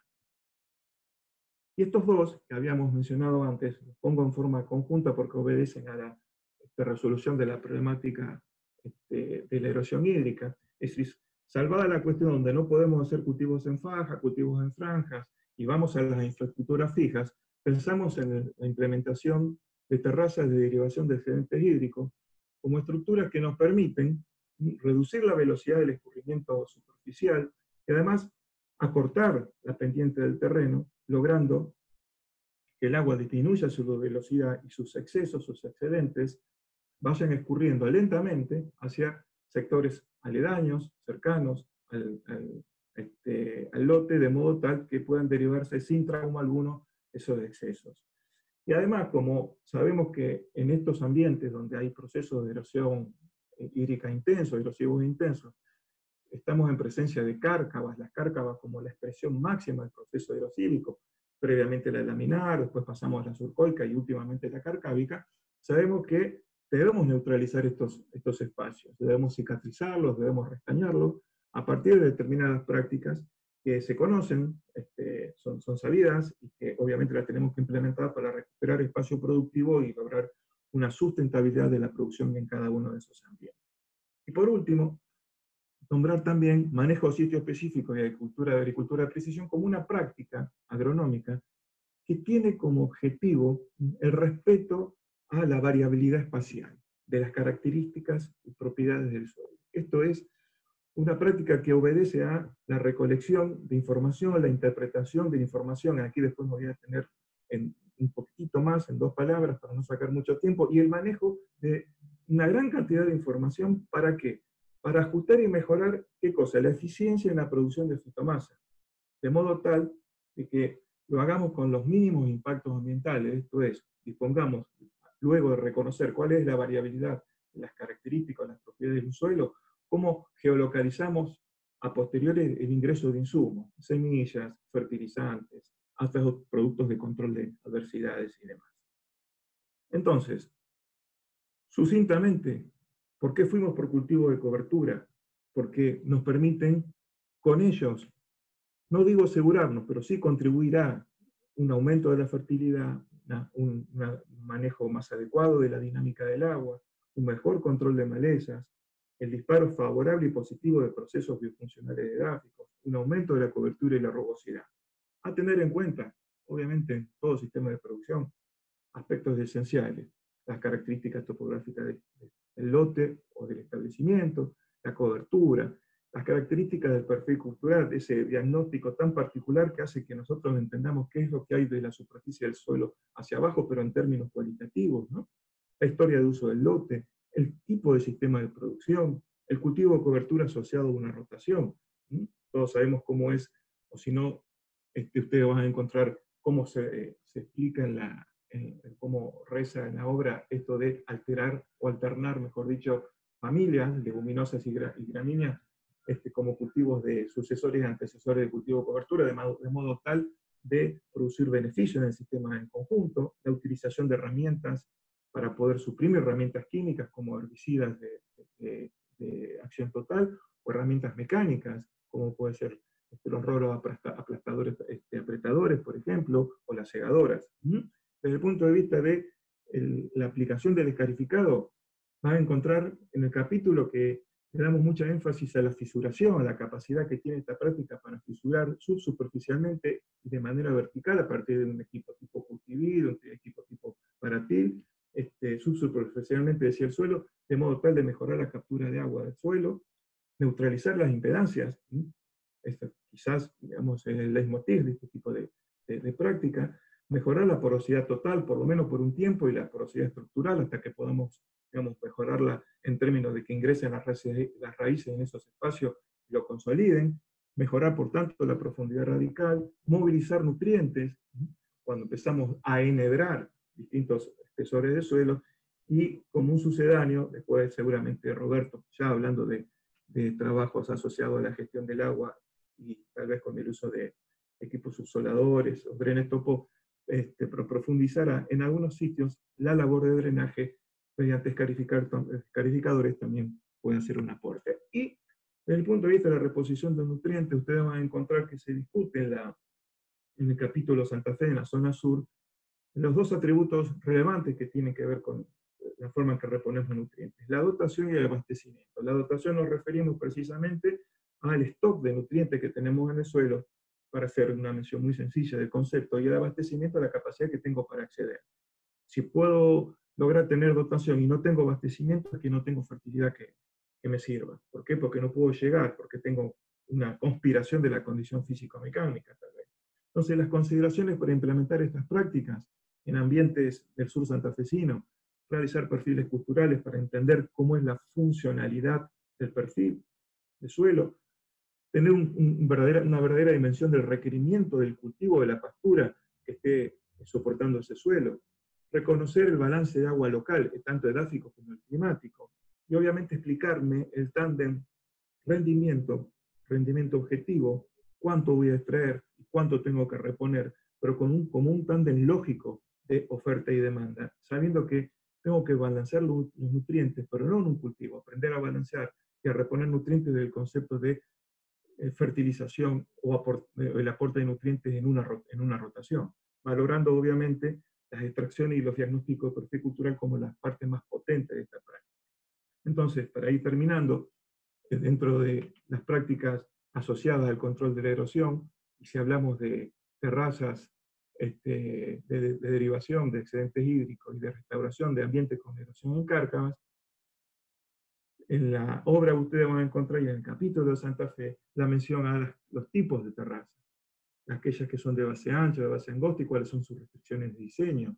La longitud de no más de 500, 600 metros, que las pendientes no deben ser más del 0,2 al 0,4% de, de las terrazas, la forma en que podemos derivar los, los, excedentes, los que nos llegan al, establecimiento o al lote o a la situación problema, con canales de guardia y canales de derivación para poder emitir los excesos a sitios de sacrificio, sin perturbación de, otros, de otras estructuras. Y obviamente reconocer que para implementar una práctica de terraza de derivación de excedentes, necesito una, una lógica de la aplicación de la norma técnica. Para ello tengo que elaborar un diagnóstico. El diagnóstico implica hacer un mapa de erosión, reconocer la plana y altimetría, conocer los desniveles, para conocer la morfometría del paisaje. Obviamente, después de elaborar una propuesta técnica, para poder decir dónde van a estar instaladas las infraestructuras, en este caso las terrazas y los canales, el replanteo y la construcción a campo de cómo van a ser las obras, esto va a depender entonces de la, la cuestión de diagnóstico, de planimetría, de propuesta técnica, pero aquí tengo que efectivamente construirla en el lote y obviamente controlar su funcionamiento. Y ya, desde el punto de vista de la restauración de las cárcamas, hay una serie de pasos que voy a nombrarlos muy sucintamente, podría explayarme, pero no, no, tengo mucho tiempo. La idea es que para restaurar cárcavas, que entendemos que es un proceso de cicatrización o de sutura de la cárcava, de esas zanjas que algunos suelen decirle, de esos canales que algunos también les pueden llamar, tengo que pasar por una identificación a campo para saber de qué tipo es, si es una efímera, si es una una carga de tipo permanente. Después tengo que entender que tengo que manejar el área de aporte. Cuando manejo el área de aporte, tengo que sobrevalorar básicamente si tengo aportes de sectores eh, supra, qué tipo de cultivos se están haciendo, qué tipo de labranzas se hicieron, si hay cultivos de cobertura, si hay pasturas, qué rol tienen los caminos, qué rol tienen los, las estructuras de derivación de otros lotes hacia el sector problema. Para manejar el canal tengo que tener en cuenta aspectos relacionados con las paredes del canal, la vegetación del canal, si tiene o no tiene rastrillos para poder morigerar la velocidad del agua dentro del canal, que no produzca erosión dentro de precisamente ese sector. Y obviamente en esta búsqueda de la restauración, manejar la cabecera de ese, de ese sitio, la pared y el fondo. Esto es conocer más sobre las pendientes, y tengo que vegetar eh, el sector aledaño, colocar frenos internos, de modo tal de poder hacer mucho, más, mucho menos traumático el recorrido del agua por esos sitios. Y por último, respecto a la, práctica de manejo sitio específico y agricultura de precisión, lo dijimos antes, lo vuelvo a mencionar, hacer manejo sitio específico significa reconocer que hay que aplicar diferentes tecnologías para el manejo agronómico diferencial intralote.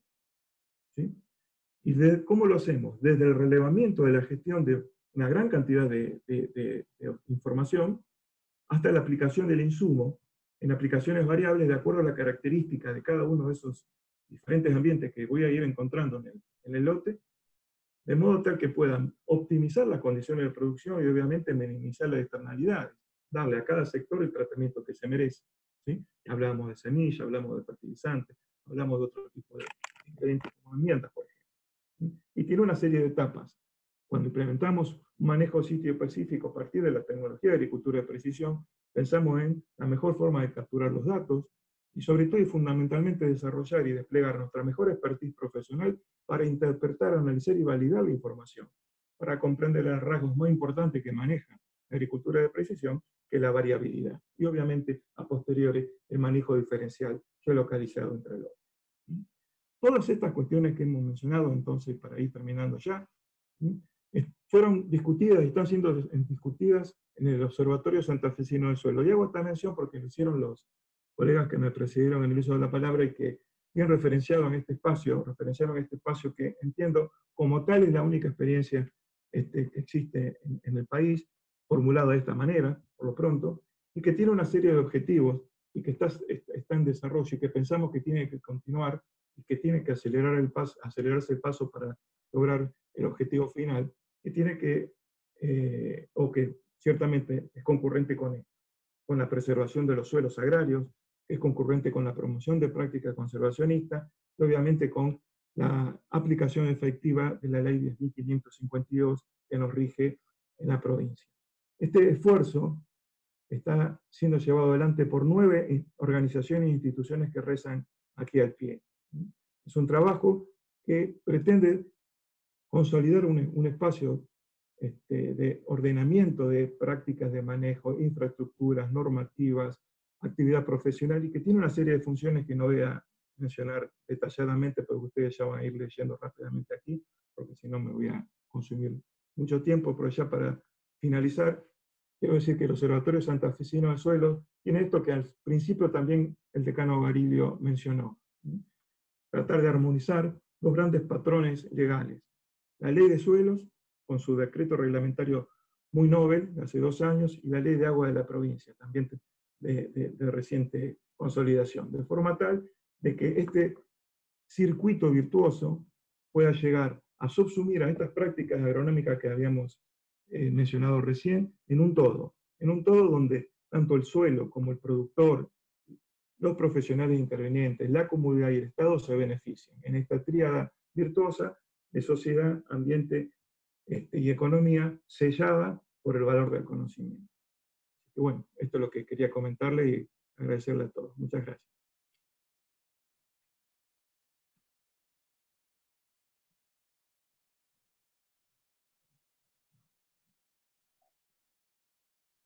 Muchas gracias, Sergio, por, por, la presentación. A continuación, entonces, le damos la palabra al ingeniero en recursos hídricos Roberto Marano, profesor e investigador de la Facultad de Ciencias Agrarias de la Universidad Nacional del Litoral. Roberto, escuchamos.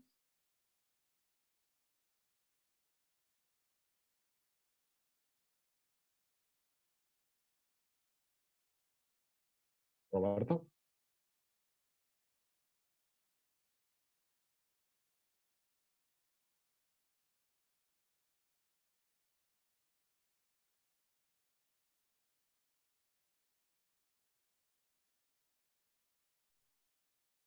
¿Ahora me escuchan?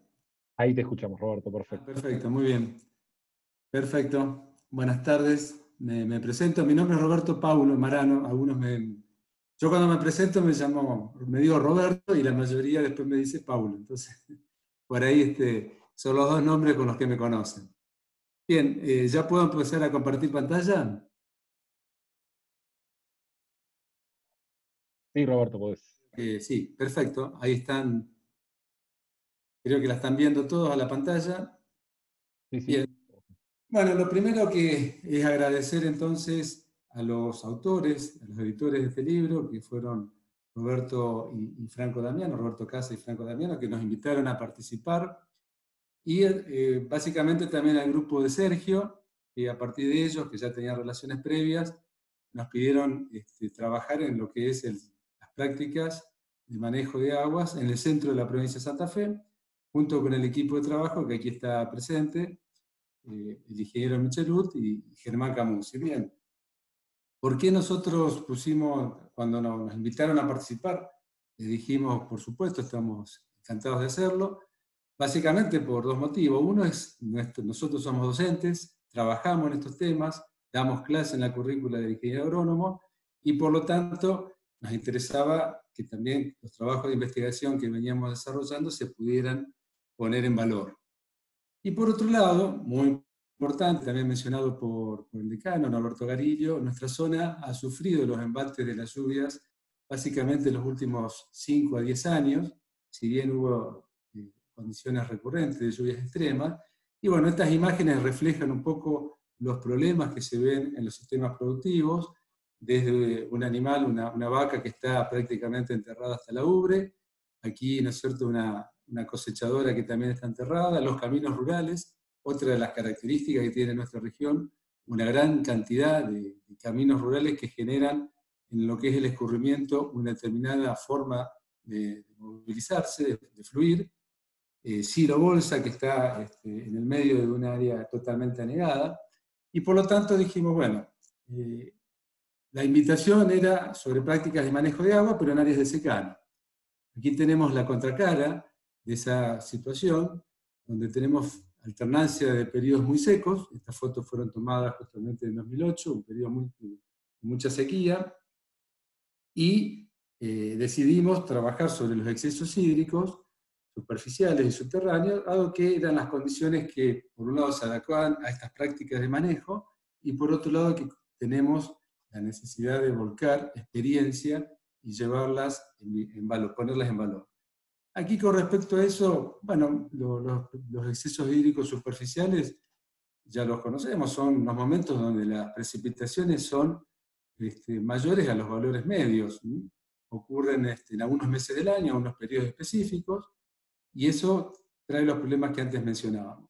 A modo de una clasificación que, que también nos interesa para después distinguir las prácticas, hablamos de encharcamiento cuando el suelo presenta saturación en el horizonte superficial, muchas veces tenemos presencias de niveles freáticos próximos a la superficie, terrenos planos, el agua entonces como que está quieta, no se mueve, y eh, a diferencia del anegamiento, el anegamiento ya es un estado más avanzado, tenemos más superficie con agua este, que proviene por allí de las lluvias caídas in situ, como también de aguas arriba, entonces está en una posición de relieve un poco más baja.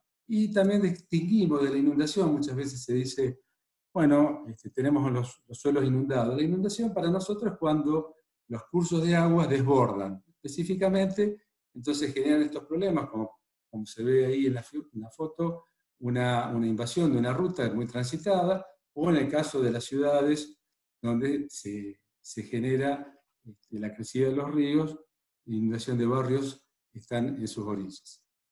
Y aquí viene una, cuestión, y es una pregunta que después vamos a, desarrollar.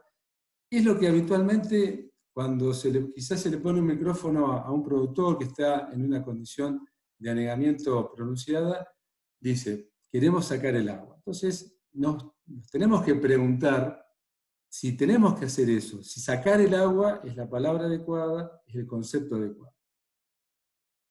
Claro, la vulnerabilidad que tienen nuestros sistemas productivos en función de los tipos de suelo que ya los mencionó Franco, tenemos suelos con baja capacidad o velocidad de infiltración. Un suelo de textura media a fina, con baja velocidad de infiltración frente a eventos de magnitud extrema.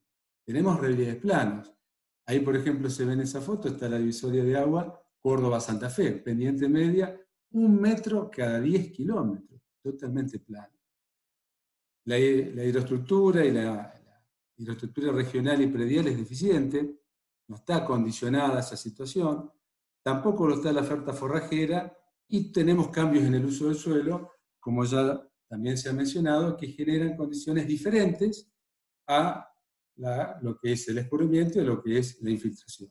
Bien, frente a esas situaciones, nosotros, ¿qué planteamos? Vemos aquí un esquema también tradicional, de esos libros que, publicó el prosa que antes mencionaba Santiago, de décadas anteriores, aquí hicimos unas pequeñas modificaciones, pero básicamente es la idea, donde eh, hay una, se ve hacia la parte izquierda de la pantalla, ¿no es cierto?, la loma, con pendientes muy planas, 0,1 a 0,5%, o sea que prácticamente con muy baja pendiente. Después tenemos dos tramos de media loma alta, media, loma baja, pueden o no estar, depende del sitio, con pendientes mayores, cuando ya tiene 3%, hay problemas de erosión hídrica, lo mencionó Sergio, y tenemos los bajos tendidos, lagunas, con pendientes. Fíjense que lo que es bajo tendido, aquí tenemos pendientes parecidas a las de las áreas planas.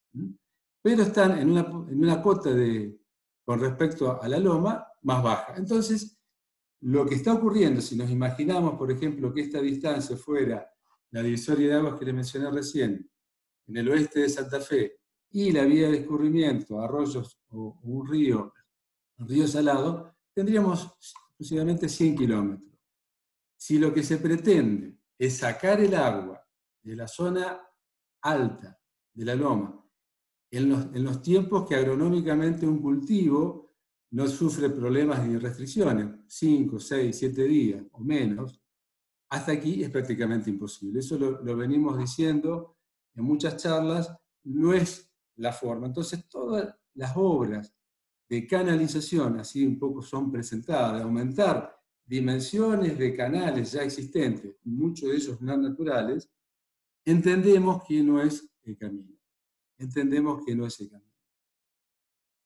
Entonces, el aspecto que tenemos que considerar en, esta en estas prácticas de manejo tiene que ver con la condición de, las, de Santa Fe en cuanto a ser una provincia que tiene todas sus cuencas que terminan en el río Paraná.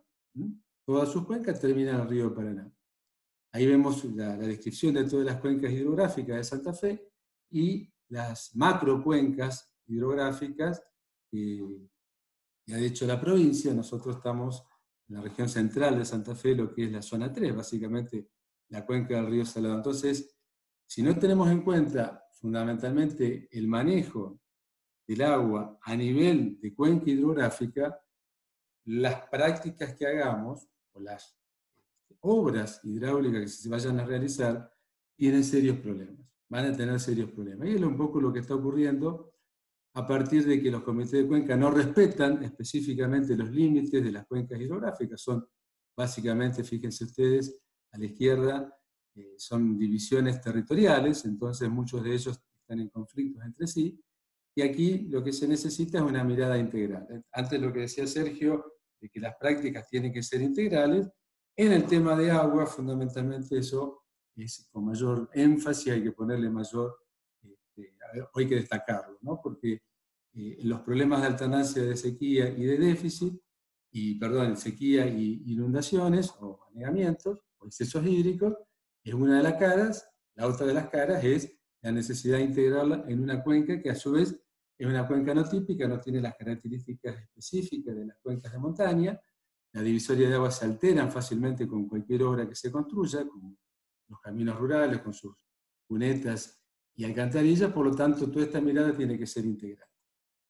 Entonces, ¿qué objetivos se persiguen o perseguimos cuando hacemos prácticas de manejo de agua, fundamentalmente a nivel predial o extrapredial. Entonces, fíjense aquí que la palabra sacar, yo la taché, fue tachada, no sacamos el agua.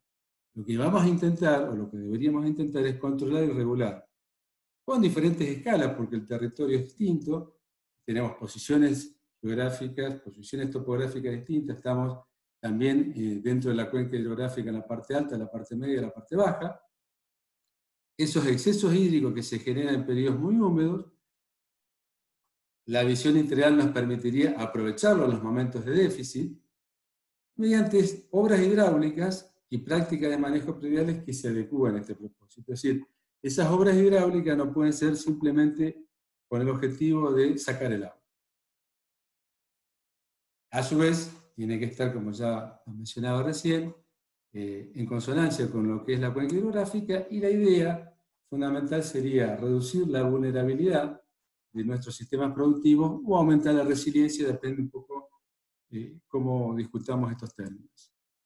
Las distintas escalas entonces de trabajo son muchas, y en algunos casos trabaja eh, lo que es lote o predio, trabaja fuertemente los profesionales agrónomos, junto con los productores que asesoran, y después ya tenemos otras esferas donde intervienen, perdón, donde intervienen fundamentalmente eh, los órganos de gobierno, que son distritos comunales, las cuencas, las cuencas provinciales y, en el caso cuando tiene interprovincial, donde intervienen las provincias en consonancia con la nación. Es decir, estas esferas de, acción también hay que considerarlas porque muchas veces desde lo que es el manejo predial se puede no visualizar eh, el impacto que se tiene a nivel ya de cuenca o de macrocuenca. Entonces, yendo específicamente a esas prácticas, y si estas prácticas ayudan, eh, permiten de alguna manera mitigar los problemas que vimos al principio, tenemos prácticas prediales, básicamente las prácticas más que podemos agrupar del suelo, que ya también antes mencionó Sergio, y algunas otras que también entendemos que ayudan en cuanto a lo que es el manejo del agua, básicamente puede ser por eh, la acumulación en el periodo donde falta, o la rugosidad superficial, en el caso de la necesidad de que esto ocurriese, o la extracción en profundidad para lograr que los acuíferos o la freática no tenga este, la cercanía que actualmente tiene, sí que permita que baje la freática, porque la freática aumenta con la lluvia, pero baja en función, entre otras cosas, de la evapotranspiración. Y específicamente la que nos dedicamos a presentar en, este libro, que tiene que ver con drenajes subterráneos, sistematización de áreas planas, canales, ya vamos a hablar, reservorios de acumulación y laminación, y alguna práctica que es bordos elevados medias con pendiente para áreas muy planas, y las teníamos pensado fundamentalmente para todo lo que es la zona de San Javier.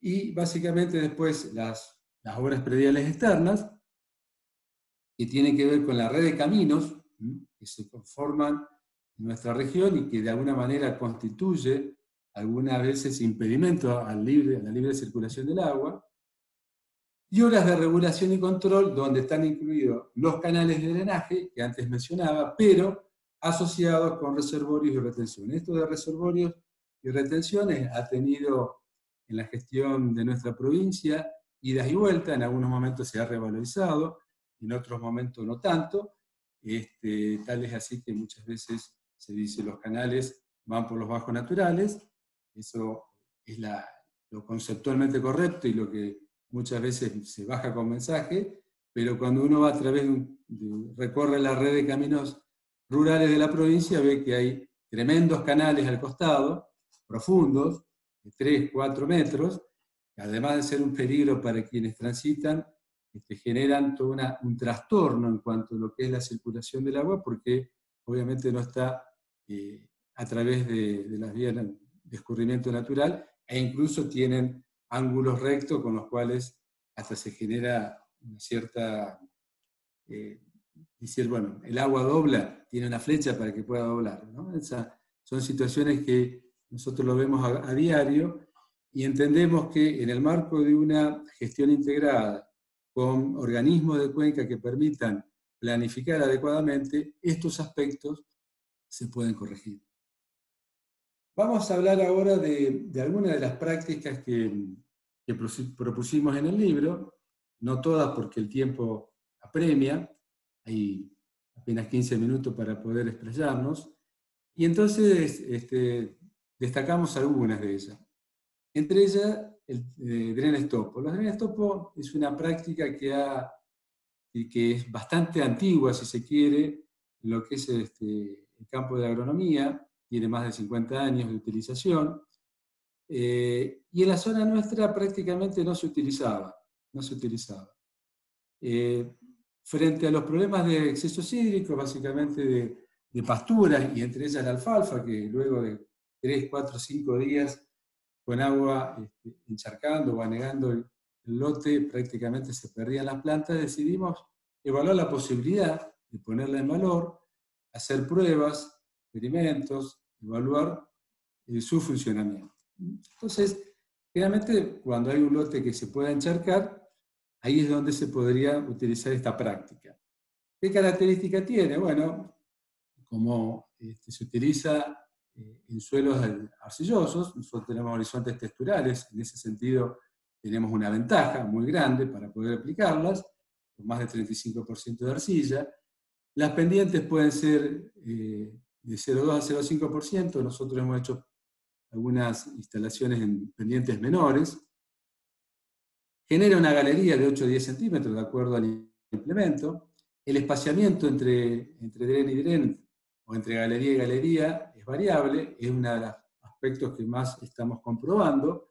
Se utiliza como criterio general, eh, la bibliografía habla de espaciamientos pequeños, de 2 a 3 metros. Nosotros estamos utilizando algunos espaciamientos de hasta de 8 metros, y en función de eso lo estamos evaluando. Necesitan un canal aguas abajo, en el extremo, para que pueda el dren desaguar y, así tener circulación del agua. Otra cosa importante es que aumenta la infiltración. Antes se mencionaba el escarificado eh, como generador de mayor infiltración, y esto también es de alguna manera un escarificado, pero con la posibilidad de salida. Entonces, el agua no solamente ingresa y aumenta la infiltración, y, de esa forma todo lo que puede estar encharcado termina, digamos, este, infiltrando, sino que también tiene salida, ¿no? Ya a través de las grietas que se generan. Como problema, este, básicamente es que tiene poca durabilidad, de uno a tres años. Nosotros estamos en este aspecto trabajando para lograr eh, aumentar esa, esa, duración a través de alguna este, mejora al diseño. La inversión inicial es baja, tiene básicamente si el implemento eh, se alquila o está disponible para el productor, eh, es a unos litros de gasoil por hectárea el paso, y la mayor inversión lo constituye el canal excavado, aguas abajo, a la salida de los drenes. Ahí se ve un implemento, este es un implemento fabricado por una, empresa de Córdoba. El ingeniero Ronaldo Candelero fue quien nos dio el mismo para hacer distintos ensayos, distintos experimentos. Se ve básicamente lo que aquí es un timón, es un hierro de espesor de 6 a 7 milímetros, tiene un caño biselado con un ángulo específico para que pueda, este, para disminuir el rozamiento, que también no se levante, y eh, finalmente tiene una, bala con un diámetro de 8 a 10 centímetros, que es que de alguna forma compacta la galería para lograr que este, no se desmorone. Entonces, en esa condición de, suelo arcilloso, eh, entra el pie a través de, este caño biselado y eh, la bala lo que hace es comprimir la galería. Aquí se ve el mismo implemento ya con varios varios drenes este, pasados, se lo ve bastante este, adherido con suelo, y está a punto de comenzar el trabajo en, una, la parte baja, ¿no es cierto? El paso siempre se, hace desde, el, canal hacia aguas arriba.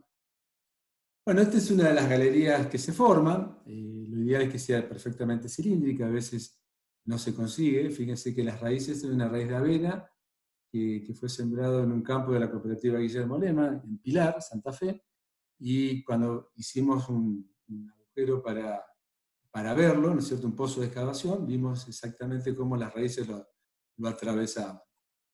Eh, uno de los problemas que antes les mencionaba de la baja durabilidad tiene que ver con la grieta que se forma en superficie, que tiene aproximadamente 5 centímetros de esa grieta, y de alguna forma es eh, la fuente de entrada de material fino. Entonces, si bien después esa grieta se puede sellar con una, cuando se pasa con, por ejemplo, una rueda del mismo tractor, cuando vuelve el tractor se pisa sobre esa grieta para sellarla, quedan debajo de ella todavía una abertura importante y es un material que ingresa al dren o a la galería. Aquí en el extremo abierto se coloca un caño para permitir que el agua en ese tramo no lo erosionen. También este, lograr eso genera, se necesita una buena estabilidad del suelo en la parte final, pero aquí se lo ve funcionando. Nosotros teníamos la posibilidad de hacer una recorrida muy rápida después de un evento de lluvia importante. Eh, teníamos acceso porque estaba cerca de la ruta, el lote, y este, tuvimos la oportunidad de sacarle fotos y videos en el momento en que estaban funcionando después de la lluvia. También puede ser de, extremo cerrado, en este caso eh, no sería tan recomendable porque si el terreno tiene poca pendiente, por ejemplo 0,2 o menos, prácticamente nosotros hemos visto que el agua queda dentro del dren y no tiene salida. Cuando tiene la pendiente un poco mayor, mejor 0,4-5%, el lote, en el extremo del dren se puede acumular agua, entonces genera como un área de servicio, un área de pérdida, donde eh, no, cuando está cerrado. ¿no? El tema de hacerlo cerrado tiene mucho que ver con la legislación. Por ejemplo, en Córdoba no se permiten canales abiertos, por lo tanto necesitan que sean cerrados. Y en el caso de Santa Fe, nosotros con la legislación actual de la ley de aguas, eh, seguramente cuando se reglamente se evaluarán todas estas prácticas y se pondrán protocolos específicos para poder habilitarlas. Y una cosa que les mencionaba antes es las grietas que, se generan esas grietas que la bibliografía marca siempre o indica siempre, que nosotros las verificamos a partir de unas pruebas específicas que hicimos en lotes que tenían drenes, hicimos un bordo para poder aplicarle agua a través de, aspersión, a través de, una inundación prolongada, y veíamos cómo, cómo el movimiento del agua a través del dren permitía evaluar que esas grietas serían las que conducen el agua con mayor velocidad, por eso aumenta la infiltración. Entonces, el espaciamiento que hay entre dren y dren es lo que estaría generando la posibilidad de que estas grietas tengan mayor o menor eh, posibilidad de trabajo, de acción. Bueno, hicimos, el, como les decía, en el lote de Pilar, una la cooperativa, es un lote que ellos tienen para hacer eh, pasturas, y generamos una, una, práctica con drenes topo, y también con cincel. Entonces teníamos una zona sin dren, una zona con dren pero sin cincel y otra zona con cincel y con drenes eh, también. Bien, en ese, en ese caso lo, lo que evaluamos fueron este, cortes, este, este es una, una de, las, los resultados, y este, encontramos que en la parte alta, eh, con respecto a loma, la loma de ese, de ese lote, tenía aproximadamente 500 metros, eh, con dren tenían una diferencia de productividad con respecto a ese mismo lugar sin dren. En la parte baja no encontramos diferencias y eh, se lo atribuimos básicamente a lo siguiente, al tener el canal aquí al final, eh, todo lo que son los excesos hídricos rápidamente encontraba salida a través del canal y por lo tanto, de alguna manera, no, no se veía afectada eh, eh, la parte baja en cuanto a tener o no tener dren. En ese aspecto, eh, el, hecho de tener una zanja de drenaje con obra de regulación que le permita conectarse la, a la red de drenaje externa es muy importante.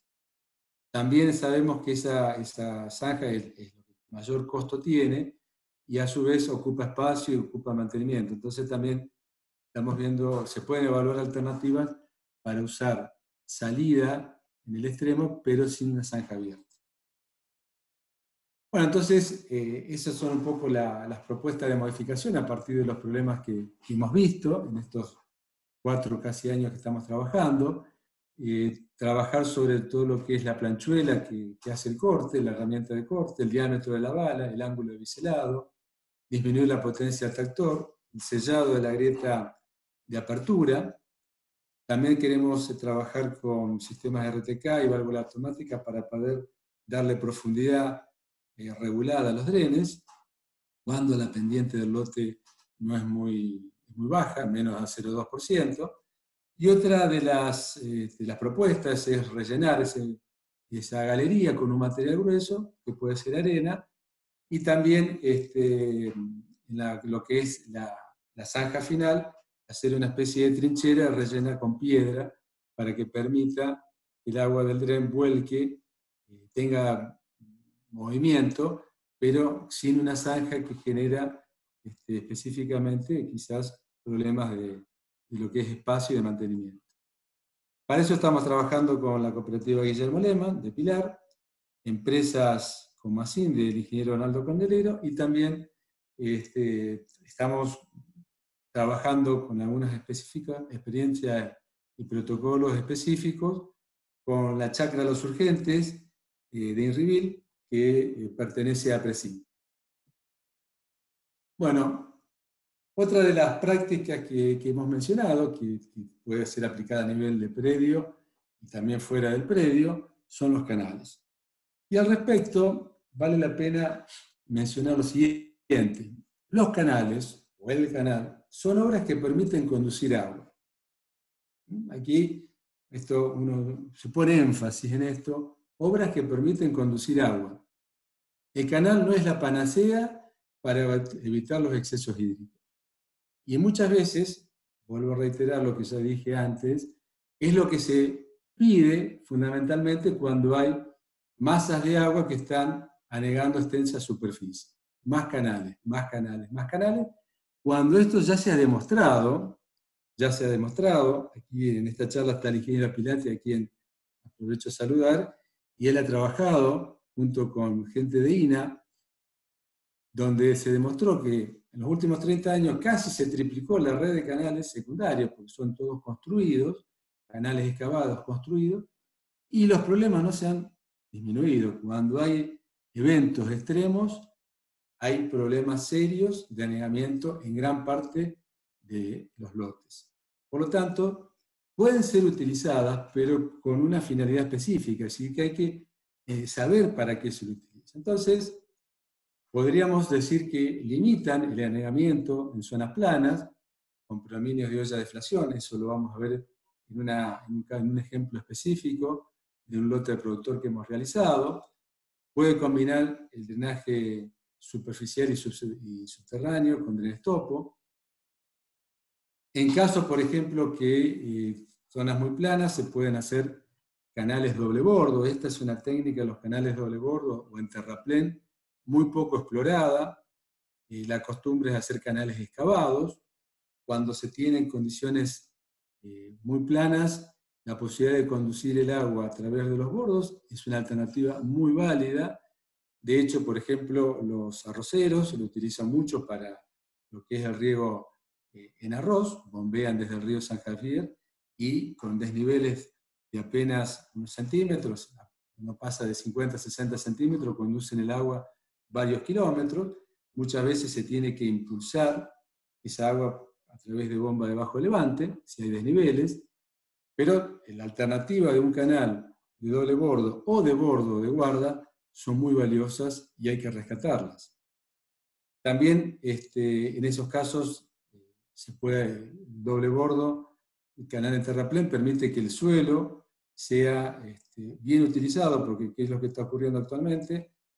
Generalmente toda la excavación se vuelca a un costado o al otro y después impide el paso de agua. Si el objetivo era captar agua, esa tierra que está al costado de los canales generalmente no se mueve y es lo más caro, es lo más caro que tiene el movimiento del suelo. El movimiento del suelo no es caro tanto las horas máquina para poder hacer la excavación, sino trasladar con camiones de, donde está hacia un punto de, traslado, hacia un punto de acopio, eso es lo más caro que tiene el movimiento de suelo. Bueno, generalmente lo que también es cierto que hay que considerar es la recurrencia de la, de precipitación. La recurrencia básicamente es eh, el tiempo que se ocurre un fenómeno y otro, un evento determinado, el tiempo promedio. Entonces, aquí hay muchas, todavía no, los protocolos que, seguramente se vayan a habilitar dirán si el tiempo de recurrencia es uno cada dos años, uno cada cinco, no más porque las obras prediales no pueden tener demasiada, una recurrencia mayor porque significaría una dimensión muy grande. Y obviamente tiene que estar la recurrencia de las obras prediales en consonancia con las, intraprediales, con las extraprediales. Eh, la construcción se puede hacer con maquinaria que está tanto los comités de cuenca, los contratistas, productores. Y una cosa muy importante, muy, muy importante, que eh, tiene que tener una obra o una estructura de regulación con el propósito de laminar. Esta palabra laminar hidrológicamente significa atenuar, es decir, disminuir el caudal máximo. Porque los problemas que se van generando aguas abajo de una cuenca es cuando el caudal aumenta, se hace mayor, producto de que el área de aporte no solamente es mayor, sino que para una cierta intensidad de lluvia ocurre que la velocidad, la velocidad del agua se acelera. Entonces los canales, si aceleran la velocidad, disminuyendo el tiempo de concentración de la cuenca, aumenta el caudal máximo. Y eso es lo que hay que evitar, disminuir el caudal máximo. Estas son un poco las fotos para mostrar lo que es un canal excavado a la izquierda, un terrapleno doble bordo. Quizás la foto hay que detenerse un poquito para verla, pero esta es la parte plana, la base del canal, que puede ser un canal eh, tranquilamente trapezoidal o casi rectangular, porque esto es prácticamente el ancho de fondo, eh, tiene muy plano, eh, y es casi todo el canal ancho de fondo, y aquí tiene los bordos a ambos costados, que por donde después, en una situación de un evento extremo, el agua ocupa todo esta, este ancho y por lo tanto la velocidad es baja. Entonces antes decíamos, antes que aumentar la velocidad hay que disminuirla. Esta condición de canal disminuye la velocidad y por lo tanto atenúa el pico. Bueno, un canal con bordo único, canal de guarda, es cuando también se quiere de alguna forma eh, conducir el agua con muy baja velocidad y estas, estas obras pueden ser, eh, puede tener varios, varias eh, posibilidades de replicarse, de modo tal de que se capta el escurrimiento y se lo conduce a un lugar que puede ser un reservorio. Entonces, los reservorios, en este caso, yo sé que Mario va a hablar mucho de reservorios con fines múltiples, en este caso, la idea de reservorios es para guardar el agua, para acumularla y laminarla. Después se devuelve a la red, se entrega a la red, pero ya fuera del momento pico. Entonces, si todos entregan al mismo momento, todos los lotes entregan al mismo momento el caudal máximo, la cuenca va a recibir, va a aumentar, va a apuntar muchísimo el caudal y obviamente va a haber desbordes en puentes, en caminos, en cunetas y alcantarillas. O la parte baja de los lotes se va a encontrar con problema. Al acumular el agua, ese, ese retardo que se produce permite que el caudal vaya circulando, se vaya moviendo desde abajo hacia arriba y de esa manera se va entregando en forma laminada. Entonces, estos reservorios conectan, por ejemplo, a través de este, un canal que está en, una, en distintas partes del predio, están ubicados esos reservorios en áreas deprimidas. Tenemos muchas ollas de deflación. Las ollas de deflación son geoformas naturales originadas en un periodo seco, con viento, por eso tienen esas formas más de tipo circular o elíptica, y de alguna manera podrían permitir el almacenamiento del agua, depende de la posición que está topográfica.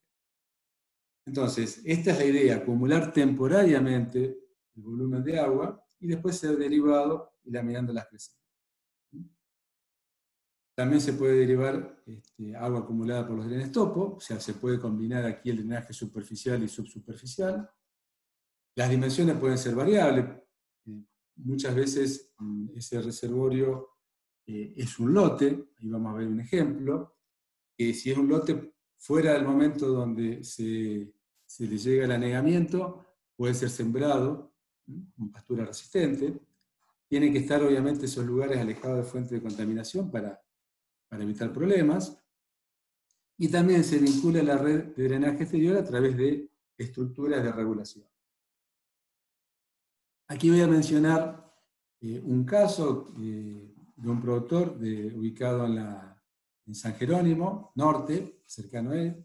Es un lote, un tambo que nos fue a visitar a través de un ingeniero agrónomo, ingeniero Daniel Braida, que es asesor de un grupo de cambio rural, y decía, tenemos, tenemos problemas porque Específicamente, hay zonas, aquí voy a marcar, que tenemos este, esa olla de deflación, que está en una parte del relieve muy plana y que a este productor le generaba que, que en periodo de lluvias que tuviese una dimensión muy importante y generase problemas para todo lo que es los cultivos allí implantados. Y por otro lado, ese mismo lote tenía en la parte más baja estas otras depresiones naturales, que son un conjunto de ollas de deflación, es una, vía de escurrimiento natural, no están interconectadas específicamente, sino que es a través de, de movimiento muy lento. Y entonces se encontraba la posibilidad de cumplir estos propósitos que antes mencionaba. Por un lado, en esta zona lograr reducir el anegamiento y por otro lado conducir todo el agua a un punto donde se pudiese acumular. Ese punto de acumulación luego se entrega el agua a través de una, estructura que es simplemente una especie de bordo, donde cuando supera ese bordo está en contacto con la cuneta, toda el agua eh, comienza a fluir. Entonces, ¿qué es lo que se, se realizó? Un canal parte excavado, parte estaba en terraplén, en una zona muy plana, poco profundo, muy poco profundo, tenía apenas 60 centímetros, se podía mm, cruzar, y se puede mantener, porque en este caso, eh, al, poder cruzarse y al poder este, circular por allí, la desmalezadora no tiene problema de, de cortar toda la maleza y dejarla a una altura adecuada. Y fíjense, es importante que la traza de este canal llega hasta un potrero y debajo está todo este lote, todo este lote que es una depresión también natural y donde se acumula el agua. Entonces, esta es una, foto que, tomó este, en su visita gente, los colegas de, la Chacra Los Urgentes que vinieron en diciembre. Nosotros el domingo, si no recuerdo mal, el domingo 5 de diciembre llovieron 300 milímetros y nosotros fuimos el lunes a ver este, este lote de campo, pudiendo entrar a través de un camino de ripio. ¿no? Pero fíjense todo, todo el área alrededor, ¿cierto?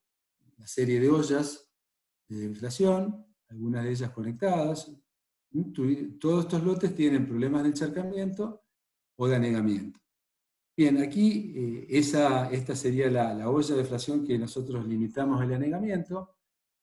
Eh, ya tiene, cuando nosotros fuimos en diciembre del año pasado, ya tenía eh, un año largo de funcionamiento.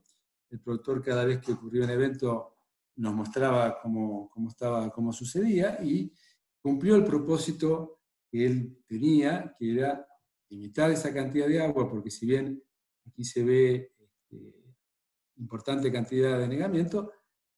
Luego de 48 o 72 horas se reduce mucho y lo que se logra son pasturas resistentes. Aquí no vamos a lograr tener cultivos de alfalfa, porque vamos a tener el problema que antes mencionaba. Pero sí se puede lograr cultivos resistentes y que al productor le sirve porque le genera pasto para los momentos donde a veces eh, escasea. Entonces en otros lotes hace acumulación y aquí hacía pastoreo.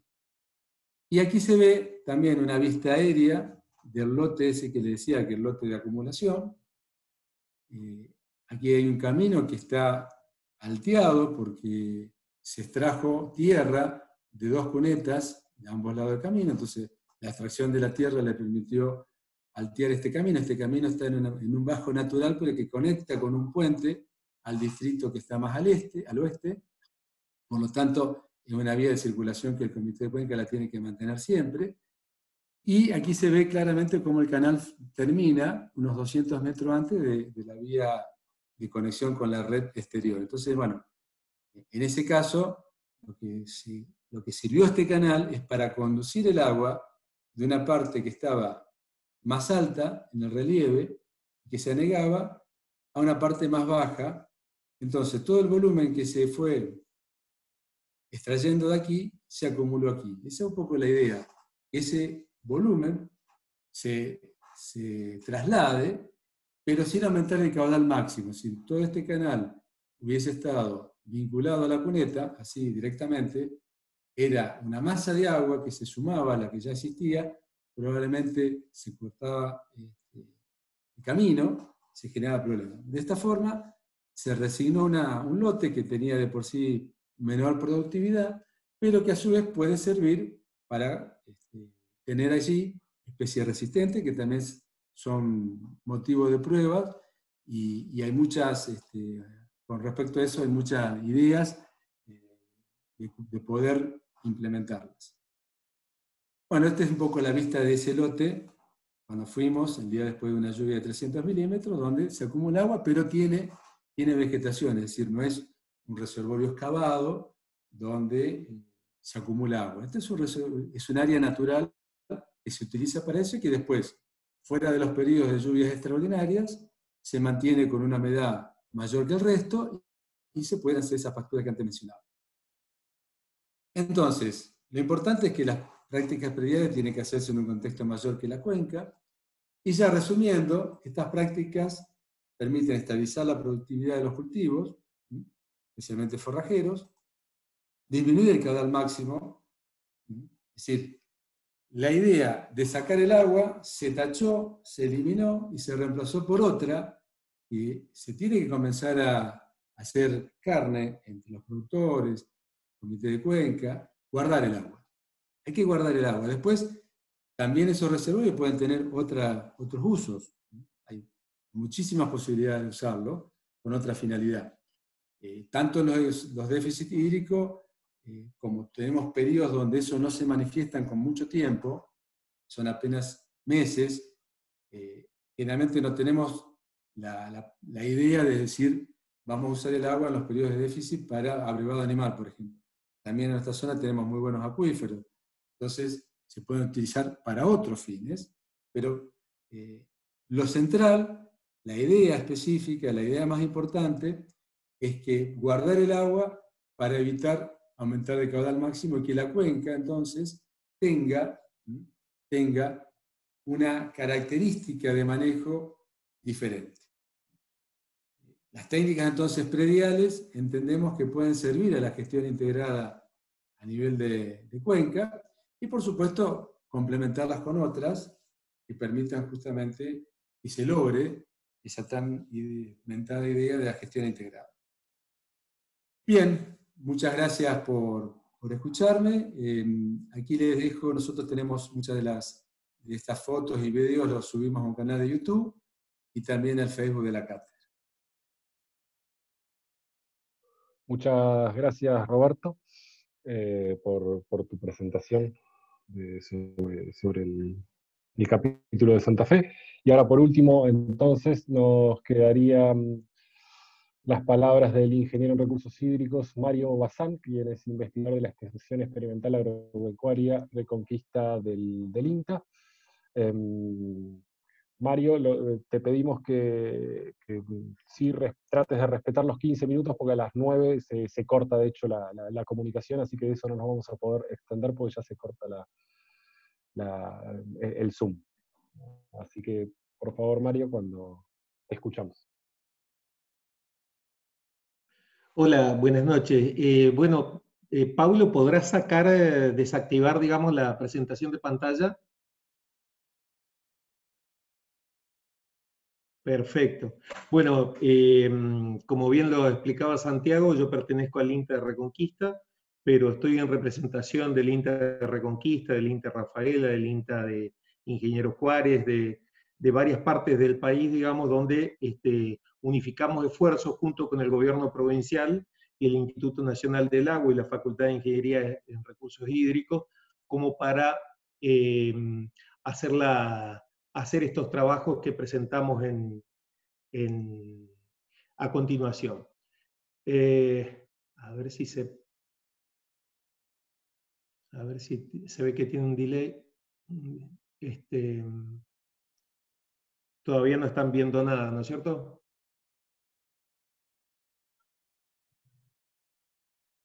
Sí, sí, ahora se, cortó la, la, presentación, salió como fin de la presentación. A ver, espérate. Ahí está, ahí nuevamente está sí, sí, en la presentación. Bárbaro. A ver si lo hacemos ahora. Ahora sí. Bien, eh, los tres trabajos que yo voy a presentar son una de construcción de represa, en donde el agua subterránea es de mala calidad para garantizar el abastecimiento de la ganadería el otro se trata de recarga de acuífero libre con precipitaciones para ganadería, y el tercero se trata de escalde, sistemas de captación y aprovechamiento de agua de lluvia para usos múltiples en, en ambientes rurales, pero que tranquilamente. los tres trabajos tienen esencia en el norte y centro de la provincia, pero son fácilmente replicables en ambientes similares al resto de la Argentina. Nosotros en, en, la, en la provincia de Santa Fe tenemos una gran proporción eh, con zonas de altas concentraciones de sales y arsénicos y solo una parte del acuífero Puelche con agua de buena calidad. Los problemas que detectamos fue falencia de infraestructura adecuada para el manejo de agua para los diferentes usos, posiblemente por el desconocimiento del aprovechamiento sustentable de los recursos naturales con énfasis en los hídricos, según los ambientes, insuficientes equipos técnicos interdisciplinarios especializados en diseños de sistemas de agua, y las estrategias que nos propusimos fue utilizar el agua de lluvia como fuente principal, complementada con la subterránea, a escala predial, sin descuidar el manejo de cuenca, como bien lo remarcaba Paulo anteriormente y Sergio. Bueno, analizar alternativas utilizando tecnologías blandas apropiadas para los diferentes usos, trabajar de manera conjunta con equipos interdisciplinarios e interinstitucionales y capacitar a productores, técnicos y decisores políticos sobre tecnologías apropiadas al manejo del agua según los ambientes. Ahora, yendo a un tema específico, al, al primer trabajo, digamos, nosotros estamos frente a crisis hídricas periódicas importantes y a nosotros nos preocupa tanto los excesos como los déficits que golpean muy fuerte, digamos, y nuestros sistemas deben estar preparados para esas situaciones. Ahora, ¿qué sucede en aquellos lugares con suelos arcillosos, con napa freática muy alta y de muy mala calidad? Estoy hablando concretamente de la depresión central de los bajos submeridionales y donde eh, los otros trabajos se van a referir a los otros sectores, pero acá realmente es un desafío tecnológico lograr aguadas que tengan agua hay, lo que no hay es calidad de agua y nosotros lo que tratamos de manejar el agua de lluvia de manera eficiente y de manera sustentable. Este es el ambiente de la depresión central, a donde lo que proponemos son represas enaltadas o tanques chacos, tanques de tierra porque hay suficiente arcilla, y desde donde se presuriza el agua para llevarla a los, este, a los sectores este, eh, para una utilización eficiente del forraje. Para ello debe complementarse ese terraplén enaltado, ese reservorio enaltado, con una pequeña represa que sea capaz de contener las tormentas de lluvias, digamos, como para que luego sean este, elevadas a ese reservorio y que tenga la presurización adecuada. ¿Y cómo se complementa estos sistemas? Con la sistematización, donde se cosecha el agua de lluvia a través de camellones, por ejemplo, es una de las estrategias que proponemos para ese tipo de ambiente. Ahora, una fortaleza que logramos nosotros es una investigación en recarga de acuíferos. Les comentaba, estaba el Instituto Nacional del Agua, el Gobierno de Santa Fe, la Facultad de Ingeniería y Ciencias Hídricas, el INTA a través de la experimental de Reconquista de Rafaela, a donde todos unificamos esfuerzos para ver cómo podíamos eh, realizar sistemas de aguadas que sean competitivos, eficientes y sustentables. Nosotros utilizamos imágenes satelitales para ubicar paleocauces, aunque sean difusos, es decir, lugares donde anduvo el río, donde anduvieron los cursos de agua, porque ahí hay mayor porcentaje de arena. Y cómo, una vez que tenemos eh, determinado eso, aplicamos protección geoeléctrica a través de sondeos eléctricos verticales, con equipos de mapeo de resistividad de última generación, para ubicar esas zonas donde hay mayor capacidad eh, de permeabilidad de los acuíferos. Implementamos estaciones meteorológicas automáticas, freatígrafos digitales y controlábamos la calidad a través de conductímetros y veíamos con un caudalímetro cuánta agua sacaban nuestros sistemas de bombeo. Y periódicamente eh, tomábamos muestras para ver los principales cationes y aniones y cómo iban evolucionando o involucionando en función del aprovechamiento de esos sistemas. Uno de los pilares que fue de investigación durante siete años, prácticamente del 2010 al 2017, fue el establecimiento de la huella, donde comenzamos nosotros con el Instituto Nacional del Agua, el INTA, junto con el productor muy, muy inquieto, muy con, con alma de investigación, en el 2010.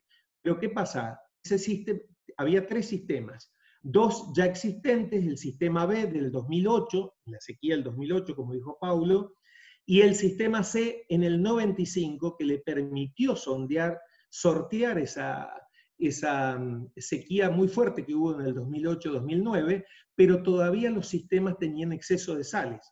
Ahora, eh, en el 2010 empezamos a investigar el sistema gracias a, las, a los eh, avances tecnológicos que logramos en el sistema A. Em, eh, ajustamos el sistema B en el 2013 y posteriormente el sistema C en el 2014. Eso es lo que les quiero comentar. ¿Cuál es lo interesante de esto? Todo confluye a un tanque central de mezcla para que desde allí se distribuye el agua y ¿qué es lo que sucede con eso? ¿Qué es lo que se logra? Que el animal, sea cual sea el potrero que esté eh, eh, utilizando los forrajes, consume la misma calidad de agua. Y eso eh, habla de eficiencia productiva porque logra un mejor impacto, digamos, para las producciones de carne, de recría, de, cría, de recría, de tambo, eh, cualquiera sea la, producción que se tenga de ganadería. El sistema A está compuesto con cuatro perforaciones. ¿Y por qué cuatro? Porque hay muy baja permeabilidad. Eso nosotros le denominamos sistemas patas de araña porque cuatro perforaciones en ese caso abastecen un sistema que utiliza energía eólica, un molino, y eh, a su vez se sistematizó un camino para que el escurrimiento pueda ser eh, más efectivo, vaya al área de recarga y eso va al tanque central de mezcla. Es lo que se logró, camino sistematizado doble propósito de muy buen funcionamiento con el escurrimiento superficial, y perforaciones doble propósito. Esto es inédito, es decir, las perforaciones convencionales le agregamos drenes horizontales cubiertos por piedra partida, por arena gruesa. De esa manera nosotros que el agua de lluvia logramos que ingrese limpia, no tape las perforaciones. ¿Y por qué hacemos esto? Porque hay una concentración excesiva de sales en el acuífero y el agua de lluvia, que no tiene sales, se logra la este, bolsones de agua dulce este, mineralizada como corresponde. De esa manera, eh, es muy simple, un dreno horizontal, piedra partida, arena, protección, y este es el sistema funcionando a pleno con los cuatro sistemas con perforaciones doble propósito. Eh, los resultados desde el 2011 hasta el diciembre del 2017, lo que me interesa es que vean la evolución de la concentración de sales totales, cómo iba el sistema en función de cómo llovía y de lo que se les traía. Ahora, como les decía, el sistema B se lo ajusta nuevamente en función de todas las evoluciones que logramos con el sistema A en el 2013, a través de regueras helicoidales que funcionan de manera muy efectiva, muy eficiente para el escurrimiento, también perforaciones doble propósito, un sistema patas de araña. Eh, es lo que se logró ahora? Bueno, en función de, la experiencia de la, se logró mayor, un dren de mayor longitud y encamisado de 200 milímetros de diámetro. ¿Para qué eso? Porque vimos en el sistema A una estratificación vertical muy importante de sales. Con un metro, dos metros que uno se iba para abajo, se duplicaba o se triplicaba la concentración de sales. Entonces la estrategia era lograr chupadores flotantes para que eh, puedan sacar del agua desde arriba, donde eh, el agua obviamente está el agua más dulce por el menor peso específico. Este sistema funcionó muy bien, pero por la baja permeabilidad tenía saltos gradientes. Fíjense este sector acá, con prácticamente 10 gramos, baja a cero cuando llueve y luego rápidamente se incrementa. Pero esto no es un problema porque estamos hablando de tres sistemas. Entonces, el sistema C es el que más permeabilidad tiene, más porcentaje de arena el acuífero, se perfeccionó en base a la evolución de los otros dos sistemas. Y eso fue en el 2014. A una pequeña represa se le implementaron tres perforaciones de doble propósito y se dejaron tres convencionales que funcionaban muy bien. O sea, el sistema a pleno funciona de esa manera. Y fíjense qué interesante. La concentración de sales desde las mejoras logró lo que nosotros buscábamos, es decir, disminuir la concentración, pero que tenga lo suficiente para un agua de engorde de ganadería. Eh, todo eso converge un tanque central de mezcla y por qué nosotros proponemos eso, porque queremos minimizar el contenido salino de agua subterránea y los tanques son el lugar ideal para hacer mezcla de eh, fuentes de, de diferente concentración de sales. ¿Y cuál es la proporción que se deben mezclar? Eso está en función de los análisis de laboratorio, a donde especifican qué concentración de sales tienen. Y, también otra manera expeditiva es con los conductímetros que los productores lo pueden tener. En síntesis, la tecnología propuesta estudia el terreno, elige el lugar adecuado, se sistematiza el terreno y el diseño del sistema puede ser una represa o un sistema de perforaciones con patas de araña dependiendo de la permeabilidad. Las perforaciones, si hace falta, serán doble propósito para hacer recarga de acuífero con agua de lluvia, formadores flotantes donde haya estratificación vertical de sales, realizar bombeos sustentables. Si yo tengo baja permeabilidad, tengo que hacer un bombeo de tal manera que no me deprima mucho el nivel dinámico, porque si no voy a extraer agua con exceso de sales. Y el otro tema, no menor, es tener tanques de almacenamiento acordes a la demanda y días de reserva. Lo que nosotros estamos buscando es reponer el agua que extraemos para así mantener la calidad del agua de las aguadas. O sea que estamos hablando de sustentabilidad ambiental y sustentabilidad económica para los productores, que eso no es un tema menor. Ahora, yo les explicaba que en gran parte de la provincia el agua subterránea no es apta de manera directa para el consumo humano. No tenemos la posibilidad de hacer una perforación y rápidamente utilizarla. Pero para esto nosotros usamos agua de lluvia. Tenemos una experimental de Ingeniero Juárez, está diseñada íntegramente por la experimental de Reconquista para eh, abastecerse tanto el consumo humano como las producciones eh, con agua de lluvia específicamente. Tenemos escuelas de familias agrarias con tanques de almacenamiento, con aprovechamiento de agua de lluvia, con depósitos de 300.000 litros de capacidad. ¿En qué consiste una escala? Primero, un área de captación que tiene que ser eh, acorde a la demanda y a lo que llueve en el lugar, suficientes canaletas y cañerías de conducción, un sistema que retenga los sólidos que vienen del área de captación, porque yo tengo que almacenar agua limpia y tengo que tener mecanismos de extracción estancos y seguros.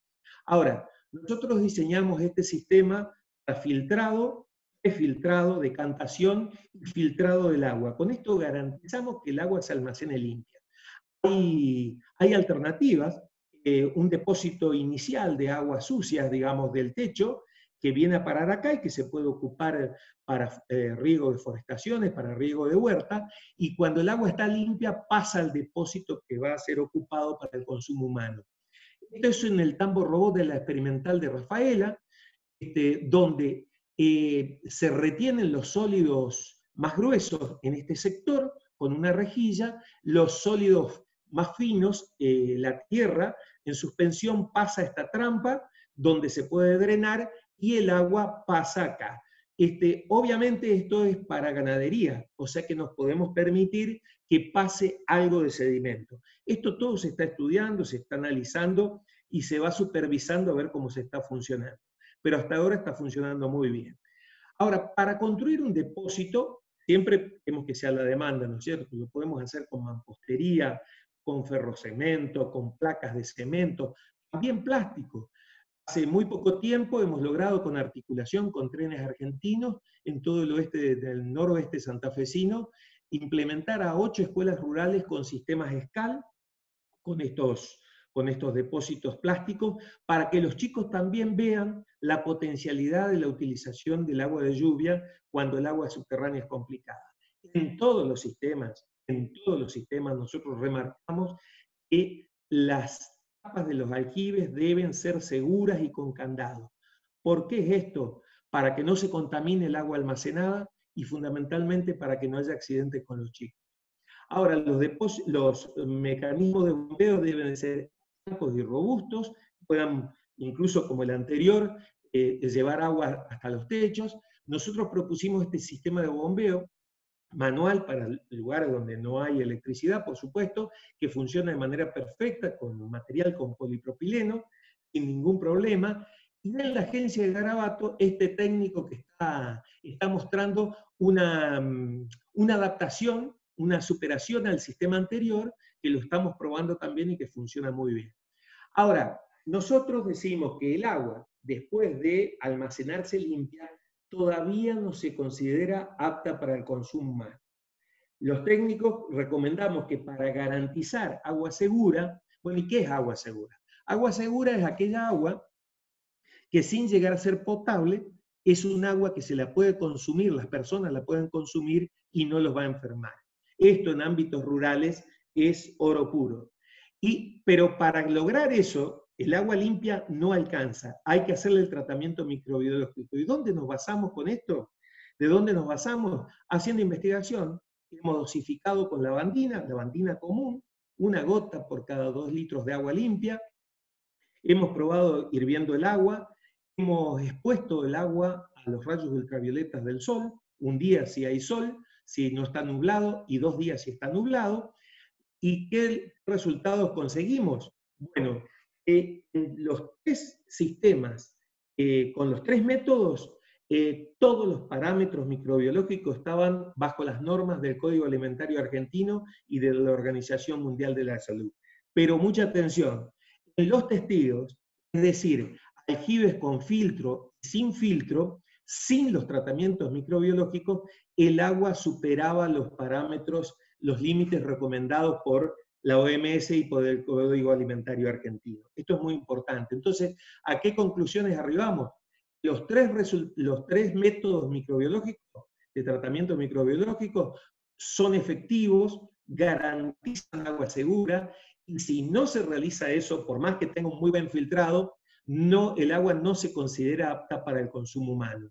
Los almacenamientos o depósitos deben ser cerrados, los mecanismos de bombeo deben ser seguros y estancos, la capacitación las familias, a las personas que van a realizar la operación y mantenimiento, es clave, es primordial. Bueno, y les, comento que la página web del INTA hay un software que hemos armado con el geólogo Tosolini cuando fuimos a capacitarnos a México con sistemas de aprovechamiento de agua de lluvia, donde pueden bajar esa planilla Excel. Este, eh, es muy simple, es una guía específica eh, para dimensionar adecuadamente un sistema de captación y aprovechamiento de agua de lluvia. Y yo les quiero decir que esto no es un esfuerzo personal. Es decir, lo que yo les estuve comentando, la necesidad de equipos interdisciplinarios e interinstitucionales, nosotros la llevamos a cabo. Desde el 2010 hasta el 2020, algunos de manera permanente tenemos contacto y otros de manera transitoria, pero consideramos que es una fortaleza eh, tener miradas con formaciones académicas diferentes. Muchas gracias. Y, lo que nosotros siempre inculcamos es reutilizar, reciclar y reutilizar y reinventar los sistemas, porque estamos en permanente ajuste de los mismos. Muchas gracias. Muchísimas gracias, Mario.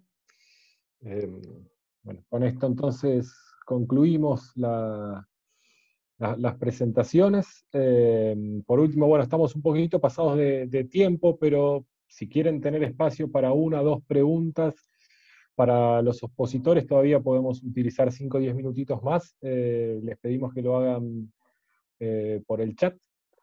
Eh, mientras tanto, bueno, me gustaría agradecer nuevamente a todas las instituciones que participaron de este encuentro y de, y de y de la presentación y del armado del libro, y, bueno, especialmente a todos los expositores, tanto a, Norberto, Griselda, Alejandro, José, como a, Franco, a Sergio, Roberto y Mario por, sus palabras. Eh, para nosotros, como les decía al, comienzo, es, muy importante eh, poder seguir difundiendo este trabajo que venimos haciendo desde el PROS y desde la Fundación eh, desde hace ya muchísimos años. Em, y bueno, los invitamos también dentro del Día del Suelo, el 7 de julio, va a haber dos presentaciones más de, capítulos provinciales de, esta obra, que van a ser las de Jujuy y las de la provincia de Corrientes.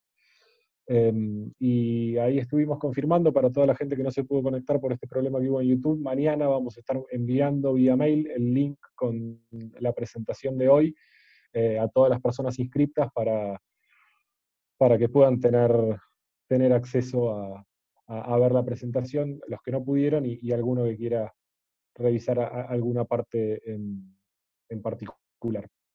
Em, bueno, veo que hay en el chat muchísimas felicitaciones y, mensajes de, vinculados al gran nivel que tuvo la, exposición, así que bueno, por nuestro lado, eh, encantados de que, les haya gustado y, de poder haber hecho este, este aporte. Si no hay preguntas, entonces, eh, nada, damos por concluida la, presentación. Eh, les agradezco a todos la, participación. Eh, y, bueno, los invitamos entonces a, las próximas presentaciones y, también a quien le interese la, diplomatura en cuestiones jurídicas y agronómicas del suelo y del agua puede, puede ver toda nuestra información en, nuestra página web. y ese también es un, trabajo muy, muy importante que, venimos haciendo.